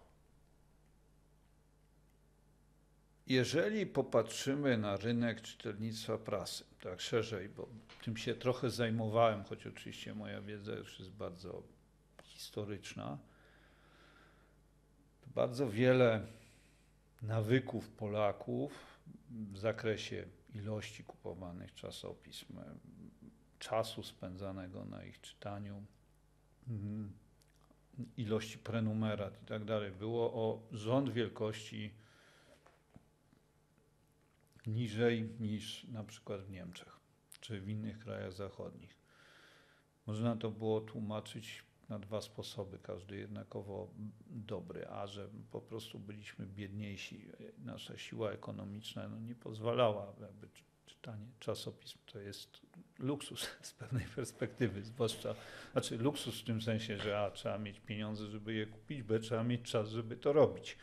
E, jak jesteś zajęty walką o byt i ledwo wiążesz koniec z końcem, to, to nie masz ani pierwszego, ani drugiego. E, Po drugie, to mm, po drugie, to, to oczywiście możemy powiedzieć, że, że, że, że rzeczywiście nie wykształciły się pewne, pewne nawyki, pewne zwyczaje. Tak? Byliśmy po prostu młodym społeczeństwem. E, młodym społeczeństwem wystawionym na kapitalizm, które się tego kapitalizmu na różne sposoby uczyło, dalej uczy. Mm. I tyle. Co do mnie uważam, że to wszystko zasadniczo jakby ta bitwa była nie do wygrania. Ona była tylko do przegrania prędzej albo później. E, mnie ona męczyła, mhm. w tym sensie, że uważam za ogromnie frustrujące, jeżeli robisz coś, jakieś pisma, wyłącznie z taką mm, perspektywą, że, że co kwartał sprzedaje się coraz mniej. Wyłącznie z taką perspektywą, że co pół roku trzeba kogoś zwolnić z redakcji, bo już nas na niego nie stać, albo trzeba wszystkim obciąć pensję, albo trzeba obciąć wierszówki i właściwie jedyne, co możesz zrobić, to to, że sobie wyrysujesz tą krzywą spadkową i, i ona ci powie dokładnie, kiedy uderzysz w ziemię i jest po twoim piśmie. Ja w takich warunkach robiłem te czasopisma gdzieś od 2003 roku do, do 2007, kiedy to zacząłem jakieś już biznesowe mieć obowiązki w w tym samym wydawnictwie. Nie tylko, przepraszam, bo cię jeszcze o jedną rzecz dopytam. Mianowicie ty przed Martą Badurek y, kierowałeś portalem ofemin.pl. I to jest Byłem... taki dziwny okres. Nie zastanawiam się w ogóle, wy, wybacz, że to powiem, ale dlaczego mężczyzny zatrudniają się do kierowania portalem kierowanym do kobiet? Prezesowanie to nie kierowanie. Mm, zwłaszcza w sytuacji, w której, w której mm, ten portal. E, no, ta, Technicznie było tak, to było joint venture dwóch spółek y, Axla Springera, ale będące osobnym bytem, choć silnie zrośniętym ze Springerem polskim. W związku z tym istniała spółka i brzydko mówiąc ktoś musiał być prezesem. E, wraz z moją funkcją w Springerze związaną z odpowiedzialnością za to cyfrowe portfolio, cokolwiek by nie, nie oznaczało to, mm, przyszła ta rola w Ofeminę, które było portalem francuskim. Przyznam, że mi to dużo dało, ponieważ jeździłem tam do tej Francji, poznałem zespół tamtejszy, który dla odmiany był czysto kobiecy, złożony z francuskich feministek i to było takie ogromnie wzbogacające kulturowo. Popatrzeć sobie na nie, jak, jak pracują, jak, jak działają. Oczywiście, oczywiście wiele wartości to ja, e, to ja tam nie wniosłem, ale przynajmniej się czegoś nauczyłem. To raczej też anegdotyczna historia. Dobra, a lata 13, bo mm, twoją w ogóle mm, klimat, jaki panował w Playu i, e, i w komputer świecie bardzo ładnie mm, wytłumaczyłeś w FOPie. E, nie, czekaj, Barnabas Igel wytłumaczył, bo pamiętam, że on właśnie wspominał, że panował tam taki, mam to gdzieś wynotowane, że to było erystyczne pole minowe, natomiast na którym e, rzeczywiście bardzo celnie czasem uderzaliście, ale z wzajemnym szacunkiem. E, natomiast ten rok 13-14 to jest wyjątkowa cezura, bo nagle zostajesz dyrektorem rozwoju grupy Onet i szczerze mówiąc nie mam pojęcia, czym się wtedy zajmowałeś. Bardzo chętnie bym usłyszał. Chyba produktu. Chyba produktu? produktu, może nie rozwoju, już nie pamiętam. Ogólnie to było tak. Springer kupił Onet. Ja byłem w Springerze, mm, ale byłem odpowiedzialny za rzeczy cyfrowe, czyli byłem najbliżej tego Onetu. Szukaliśmy tam jakichś synergii, pól porozumienia. Ostatecznie te byty dziś są w pełni połączone, są jedną firmą, jednym organizmem, już nie ma tego podziału. E, no, z Onetu odszedł dyrektor e, ówczesny, odpowiadający za rozwój produktu, czymkolwiek by to nie było, nie, za produkt, po prostu za produkt. Marcin Langowski, zresztą dzisiaj w Brainly, bardzo wysoką pozycję e, pełniący, e, dobry kolega i menedżer. No, to ja powiedziałem, dobra, no to skoro my mamy łączyć te organizacje, to ja tu chciałem zaaplikować, proszę mnie przyjąć. Przyjęli mnie. Nie trwało to długo. E, firmy się łączyły. To były ogromne firmy zatrudniające ponad tysiąc osób. To był taki, taki bardzo hmm, złożony korporacyjny proces, e, który źle wspominam. Odszedłem stamtąd. Nie mam zbyt wielu anegdot do opowiedzenia, ale mam jedną. Wartą tego programu i, i tego dziennikarza. Mianowicie, Rumienie się nie mianowicie widać. poznałem tam Janusza Pelca.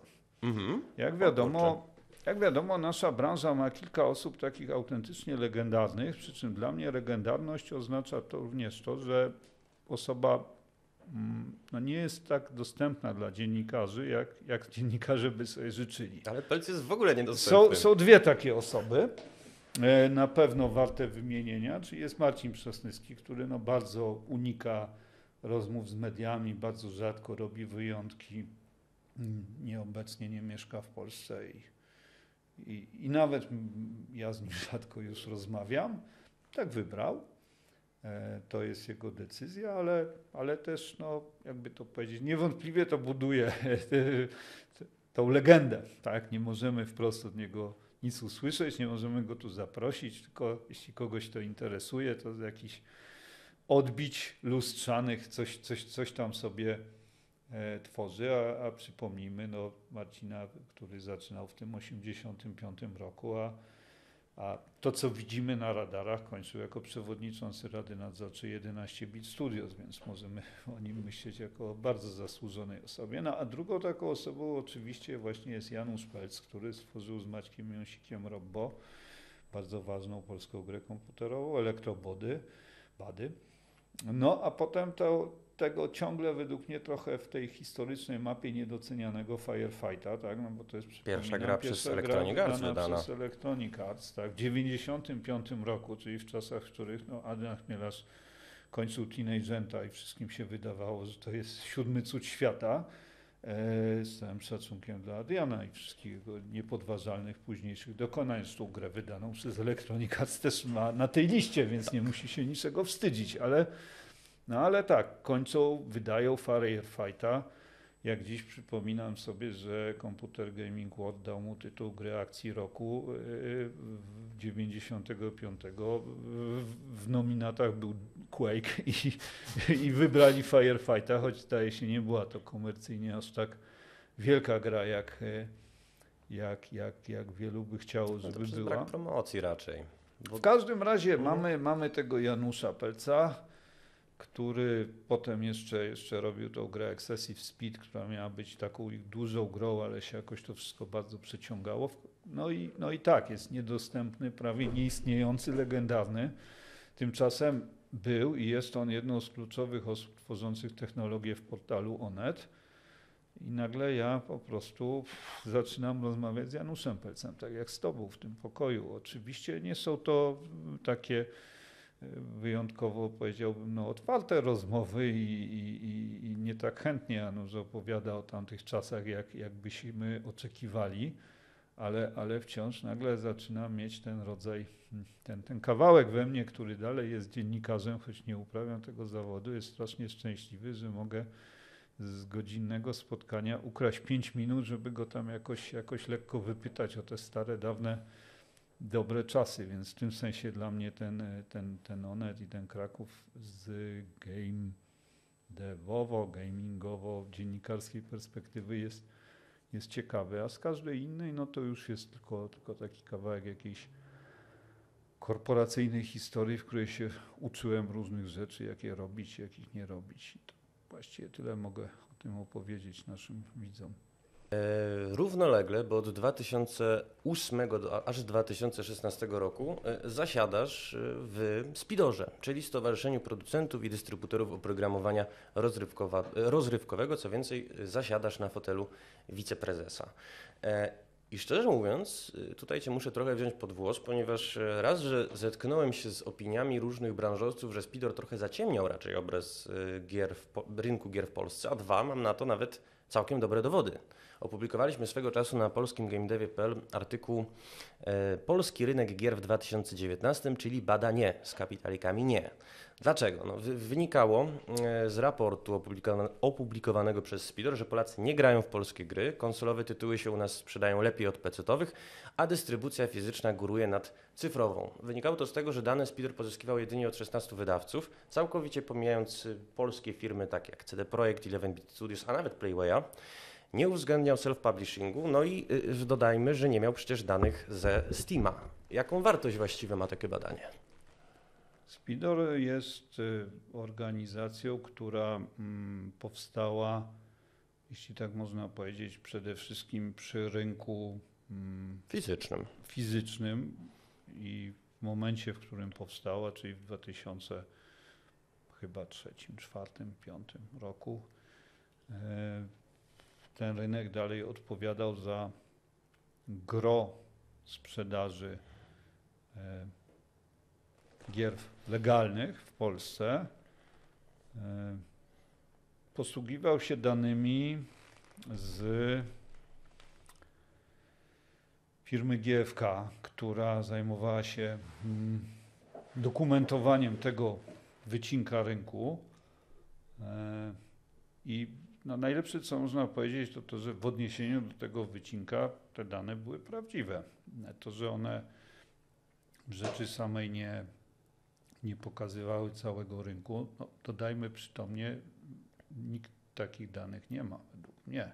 Nie ma i to jest w ogóle bardzo eee... trudno kwantyfikowalne, tylko wiesz, mamy 2019, Musimy... badanie, które nie uwzględnia Steama, Goga, Epic Games Store, Battle.netu, Origina, Uplaya, Nintendowego e-shopu, brak gier Nintendo, Nintendo Bethesdy, to są takie poważne luki, że wydaje mi się, że wręcz... No, można mhm. powiedzieć tak, to było badanie na temat tego, jakie gry Polacy kupują fizycznie w polskich sklepach. Ale nie tak zostało sprzedane jeszcze poruszyć, odejdźmy już od tego speedera, bo to jest rzeczywiście temat y, rzeka. Zapytać o dwie kolejne ścieżki Twojej kariery. Myślę tutaj o Playwayu oczywiście i o Movie Games. W Playwayu, przypomnę, byłeś w latach 16-17 w Radzie Nadzorczej, w 19-21 członek zarządu. E, I nawet nie chciałem może do końca wracać do tamtych czasów, co zapytać, co się teraz w grupie dzieje. No bo byliśmy świadkami bezprecedensowych w ostatnich miesiącach wyprzedaży akcji. Playway się przecież e, pozbył najpierw Simfabrika, później Movie Games, e, Moonlita. No tymczasem prezes Kostowski uchodził za gwaranta tych spółek. To, że on trzymał właśnie akcje, pozwalało wyrokować, że nic się w nich złego nie dzieje, że będą one dalej szły do przodu, no i przede wszystkim dywidendę wypłacały. Jak właściwie wygląda teraz grupa i jakie są perspektywy, jakie przed nią stoją? No, ja nie, nie zacznę odpowiadać na to pytanie, bo jak trafnie wskazałeś, jestem e, w organach tej grupy po raz ostatni dwa lata temu mm, wykazywany, żeby, żeby moją rolę też dobrze określić. Ja jestem dzisiaj członkiem zarządu e, Rejected Games, czyli jednej ze spółek grupy Playway. Jestem inwestorem prywatnie wielu spółek grupy Playway. Mam no, kontakt z, z, prezesem Kostowskim dość, dość regularny. Jesteśmy partnerami w biznesie. Pewnie jesteśmy nimi, bo się często zgadzamy i generalnie ja jakby lubię robić z nim biznes, lubię się uczyć od niego biznesu. Podziwiam go e, jako biznesmena. Czasem się oczywiście też nie zgadzamy, natomiast w żadnym razie nie, nie, nie mogę, nie ośmielę się i nie chcę się wypowiadać za niego bądź w jego imieniu. Natomiast oczywiście coś, coś mogę w ogólny sposób powiedzieć. E, powiedziałbym, powiedziałbym taką rzecz.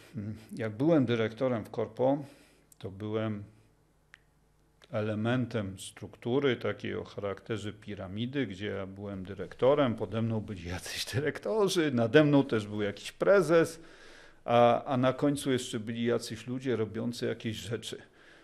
No, tak zazwyczaj działają firmy. To ma swoje zalety i wady.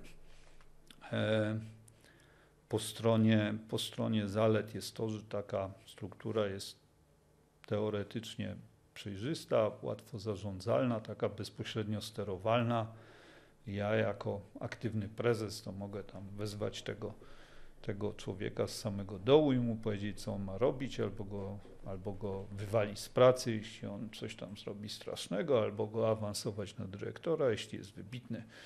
Tak to w teorii działa. Hmm. Ma taką wadę, że jest bardzo kosztowne. Mhm. Każdy z tych dyrektorów to chce bardzo dużo zarabiać, chce mieć samochód i wszystkich trzeba usadzić w pięknym szklanym budynku. I w dodatku właściwie tak naprawdę, i to jest zupełnie zrozumiałe, każda z tych osób tak na końcu to ma gdzieś, ile ta firma zarabia. To znaczy, oni chcą, żeby ona zarabiała tyle, żeby im zapłaciła pensję, to jasne. I pewnie nie chcą, żeby zarabiała tak mało, żeby musiała ich zwolnić, ale, ale to, czy ona, czy ona zarobi tyle, czy tyle, no oni nie są właścicielami tej firmy, więc co ich to obchodzi? Ja tego nie potępiam, to jest zupełnie zrozumiałe. I teraz od tego obrazu, który widziałem w działaniu i wiem, jakie ma wady, jakie zalety i jaki czasem jest ogromnie irytujący, wchodzimy do obrazu takiego, w którym tworzysz holding spółek, w których ci wszyscy dyrektorzy e, to są współwłaściciele swojego działu. On ma spółkę, on ma swoją wizję, ma 30% udziału w tej spółce, albo 50, albo 15, to zależy od, od wielu rzeczy. E, w związku z tym on niekoniecznie chce zarabiać tyle. Może zarabiać dużo mniej, jeśli bardzo wierzy w to, że to, co ta spółka robi, odniesie sukces ekonomiczny i on na przykład wtedy jako mm, współuczestnik dywidendy e, stanie się bogatym człowiekiem. Wielokrotnie widzieliśmy to w działaniu. Na przykład będziemy to widzieć na grze Kontraband Police.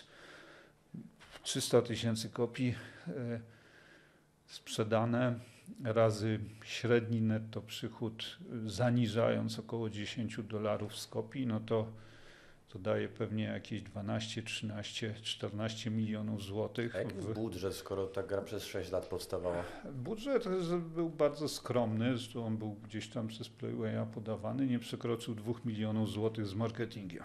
Mhm. Czyli ta gra w ciągu 3 miesięcy zwróciła się sześciokrotnie. E, będzie jeszcze długo żyła na Steamie, będzie, będzie rozwijana, będą dodatki ale też wyjdzie na konsolę, a wydaje się grą dobrą dla konsol, bo jest grą w pełni trójwymiarową, ciekawą. Hmm. Można się domyślić, że deweloperzy, którzy są jednocześnie lidowie, współwłaścicielami tej firmy, będą, będą korzystać z dywidend. Tak bym to powiedział. Nie, nie, no myślę, że można powiedzieć, będą bogatymi ludźmi. E, i bardzo dobrze zapracowali na to ciężko. To wszystko, co mówię, ten długi wstęp służy temu, żeby jednocześnie powiedzieć, że tego rodzaju struktura nie jest strukturą, która e, daje ten rodzaj bezpośredniego przełożenia na to, co się wszędzie na dole dzieje, takiego, jakie mam w korpo, jak jestem prezesem, a ktoś jest moim pracownikiem. Dlaczego? Dlatego, że ten, ta, każda spółka to jest osobny byt, osobny twór. E, i teraz, e, jeśli jeszcze w dodatku ta spółka jest spółką giełdową, o tym się w ogóle chyba nigdy nie mówiło, więc to trochę rozwinę, bo byłem bardzo blisko tych tematów. Mhm. To jest tak, mnie jako akcjonariuszowi większościowemu nie wolno wpływać na tą spółkę. Ja nie mogę tam zadzwonić w takim trybie doraźnym i powiedzieć tam, nie wiem, rozwiążcie tą umowę. E, to jest technicznie nawet przestępstwo. B. Ja jako akcjonariusz większościowy nie mam prawa mieć większej wiedzy o tym, co się dzieje w tej spółce, niż akcjonariusz, który ma jedną akcję. Ja nie mogę mieć z tej spółki informacji, które są informacjami poufnymi.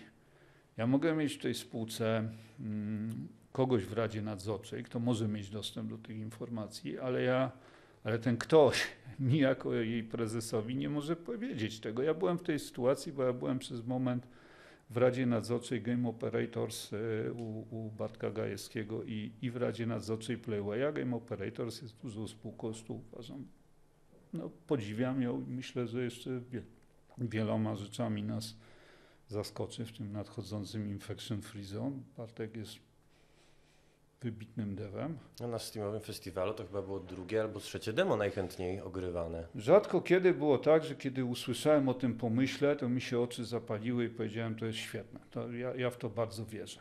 Potem, kiedy wystartowali, to tak jeszcze nie, nie było szału, powiedziałbym, ale, ale to, to może być ogromna gra. W każdym razie, ponieważ ta spółka jest dość duża i ważna, to ja na radach nadzorczych Playwaya często słyszałem pytania jakby od innych kolegów, a co się dzieje w GameOpsie. Ja wiedziałem, co się dzieje w GameOpsie, bo byłem tam też w Radzie. Nie, nie mogłem im tego powiedzieć, nie wolno mi Mhm. było. Mówię o tym wszystkim, bo chcę powiedzieć, że kiedy jesteś takim większościowym akcjonariuszem, to w jakichś sytuacjach szczególnie trudnych, brzegowych, właściwie pozostają ci tylko dwie decyzje do wykonania. Zwołać walne i wyrzucić obecny zarząd i wprowadzić nowych ludzi, o których będziesz przekonany, że zrealizują Twoją wizję, Twoją politykę. Znowu z chwilą wprowadzenia oni się stają silnie niezależni. Oni nie będą do Ciebie dzwonić co, co, co dwie godziny i Ci mówić, co się dzieje. Albo wyjść ze spółki, jak to ma miejsce. Eee, czy, czy to. A więc, a więc tak bym skomentował tę część. Mm, ale powiedziałbym coś więcej. Już trochę, trochę oczywiście w odniesieniu do Playwaya, ale trochę w odniesieniu w ogóle do różnych procesów biznesowych. Już jestem stary, dużo ich widziałem. Mianowicie mm, spółki i ich rozwój mają pewne etapy, mają pewne, pewne, pewne, pewne fazy. E, e, polski rynek gier komputerowych przeżywał okres intensywnego rozwoju. Uważam, że dalej go przeżywa, ale przynajmniej w zakresie zachłyśnięcia się inwestorów e, perspektywami, możliwościami tych spółek, niewątpliwie, niewątpliwie on się ochłodził. Częściowo wskutek rozczarowań, częściowo wskutek rozczarowań, które można by określić jako nadużycia zaufania, tak bym to powiedział. Częściowo wskutek tego, że oczekiwania były nierealnie wysokie, a za nimi idące wyceny. E,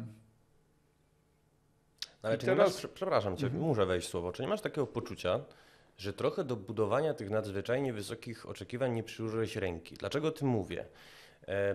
Kiedy Movie Games startowało, no to oczywiście Mateusz Wcześniak był Spiritus Movens, ale to nie była osoba w branży gier znana, opatrzona, rozpoznawalna. Tak naprawdę ty dałeś swoim nazwiskiem pewną gwarancję. Już z Movie nie jesteś związany, co prawda, E, No ale w ciągu ostatnich paru miesięcy mm, nie jest tajemnicą, że Movie Games przeżywa okres e, burzy i naporu. Zaczęło się od konfliktu przecież z prezesem Road Studio, e, ale później dowiedzieliśmy się, że Unseen Silence rozwiązało umowę z Movie Games, o czym Movie nie, zapomniało poinformować. E, Okazało się, że nie dojdzie do przejęcia Cherry Pick Games. E, Flint Arts ogłosiło, że musi wstrzymać pracę nad grą ze względu na brak płatności ze strony Movie. Movie sprzedało akcję Dragon Entertainment i Playway pozbył się akcji Movie Games. I teraz wydaje mi się, że to są takie ruchy, które będziemy obserwować w ciągu najbliższych latach wśród tych dużych spółek i grup spółek, związane po prostu z tym, że stworzyliśmy masę, której się nie da utrzymać. Fakt, że mamy w, na polskiej giełdzie najwięcej notowanych spółek game devowych. Fakt, że one obiecywały przez lata nieweryfikowane przez nikogo gruszki na wierzbie. E, wybacz, że to powiem, wydaje mi się, że mogłeś do tego trochę cegłę przyłożyć. Powiedziałbym tak. mm, Ja w Movie Games przestałem pełnić aktywną rolę formalną i tu nieformalną 4 lata temu, e, kiedy spółka była na dość wczesnym etapie rozwoju.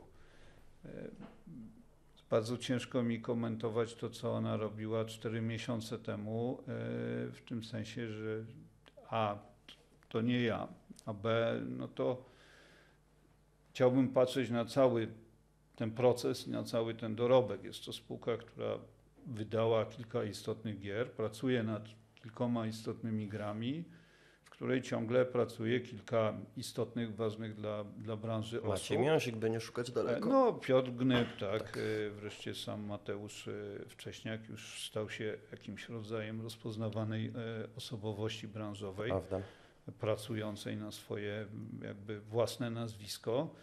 E, więc, więc w tym sensie, gdybym powiedział, że ta spółka startowała stąd, ja z niej odszedłem jak była tu, no to ona, to ona na pewno jest gdzieś wyżej. Teraz tak, Mhm. czy ta figura wygląda tak, czy ona wygląda tak, czy, czy jeszcze inaczej, to ja tego, tego zwyczajnie, zwyczajnie nie chcę komentować. E, Kolejne gry, kolejne projekty pokażą. Na pewno jest tak, że kiedy rozwija się nowa branża, kiedy coś wszystkim wybucha w rękach, no to jakby wszystkim też się udziela ten entuzjazm, tak? Czyli pięć lat temu to ja w moim e, rozumieniu nie, nie tyle jakby e, opowiadałem innym, jak będzie super, co sam w to wierzyłem. I teraz e, szczerze dalej w to wierzę, bo widzę po prostu jak wiele gier się ukazuje w spółkach, które wtedy zakładałem, pomagałem im swoim kapitałem. Tak. W tym roku było do tej pory chyba 18 premier czy, czy 17 gier grupy Playway tylko z te, tej, tej, tej top wishlist steamowej, czyli tych gier Mhm. najbardziej oczekiwanych. Dzisiaj jest 19, czyli, e, czyli Occupy Mars. Bardzo duża gra zresztą, chyba, chyba rekordowo wielka, jeśli chodzi o wishlist na starcie. Więc w tym sensie bardzo wiele, bardzo wiele się okazało, e, a bardzo wiele się jeszcze okaże. Teraz gdybyśmy na przykład o takim Contraband Police rozmawiali rok temu, no to byśmy pewnie wszyscy mówili, no właśnie, a czy ta gra się w ogóle ukaże, czy ona spełni oczekiwania, czy ona spełni nadzieję. Czasem się ukazuje i wszystko wychodzi. E, Czasem nie. Natomiast y, rzeczywiście jest tak, że, że więc w tym sensie jakby nie mam takiego poczucia, że nie wiem, podpisałem się pod czymś, co się potem okazało skamem takim jakby w momencie podpisywania. A Bynajmniej czy- to nie oskarżam. Chodzi mi tylko A. właśnie o ten entuzjazm, który przecież może być zdrowy i w wielu Ja bym powiedział jest. tak. Powiedziałbym to zupełnie poważnie. Jak wiemy, w roku 2000 e, nastąpił gwałtowny rozwój amerykańskich, łamany na światowych serwisów internetowych e, oraz zjawisko, które znane jest do dzisiaj jako bańka dotcomów. E, mnie się zdaje, że niestety w systemie kapitalistycznym te zjawiska są ze sobą trochę połączone. To znaczy, że giełda, pieniądze inwestorów, e, nadzieje napędzają rozwoje pewnych branż. I teraz tak, z jednej strony bańka dotcomów pękła, e, bardzo wiele spółek okazało się przewartościowanych albo, albo, albo zwyczajnie zawiodło mm, oczekiwania. Ale z drugiej strony tamta epoka dała takie firmy światu na dobre czy na złe, jak Google, Facebook, Amazon, wymieńmy parę innych, tak? zbudowała tą, tą branżę. E, Pamiętam polską bańkę dotcomów, kiedy w pewnym momencie co miesiąc startował nowy portal wertykalny. Hoga.pl, nie wiem czy pamiętasz, taki po- portal. Ja Jak przez bym mgłę. 17 bym wymieścił. Jojo.pl. To był zupełnie poważny w pewnym momencie gracz.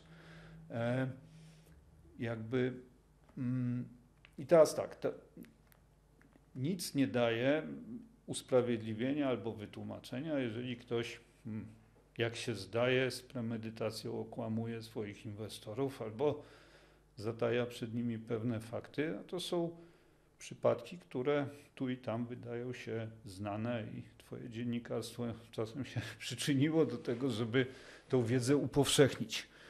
E, Natomiast natomiast z drugiej strony wydaje mi się, że to tak po prostu musi być. Stu próbuje, z tych stu ostatecznie raczej 25 przeżyje, może 12 odniesie sukces. Proporcje są umowne, chodzi o zasadę. Wielu z tych, których zawiedzie, naprawdę chciało dobrze. Po prostu im nie wyszło. Nie było miejsca dla nich, albo nie umieli, albo mieli pecha. Mm. Na tym, na tym polega ten rozwój. Co do zasady uważam, że udało się zbudować bardzo wiele, a pewnie za pięć lat zastanowimy się, czy na tym, co już jest dzisiaj, nie udało się dobudować jeszcze trzech pięter. Mm. I uważam, że było warto.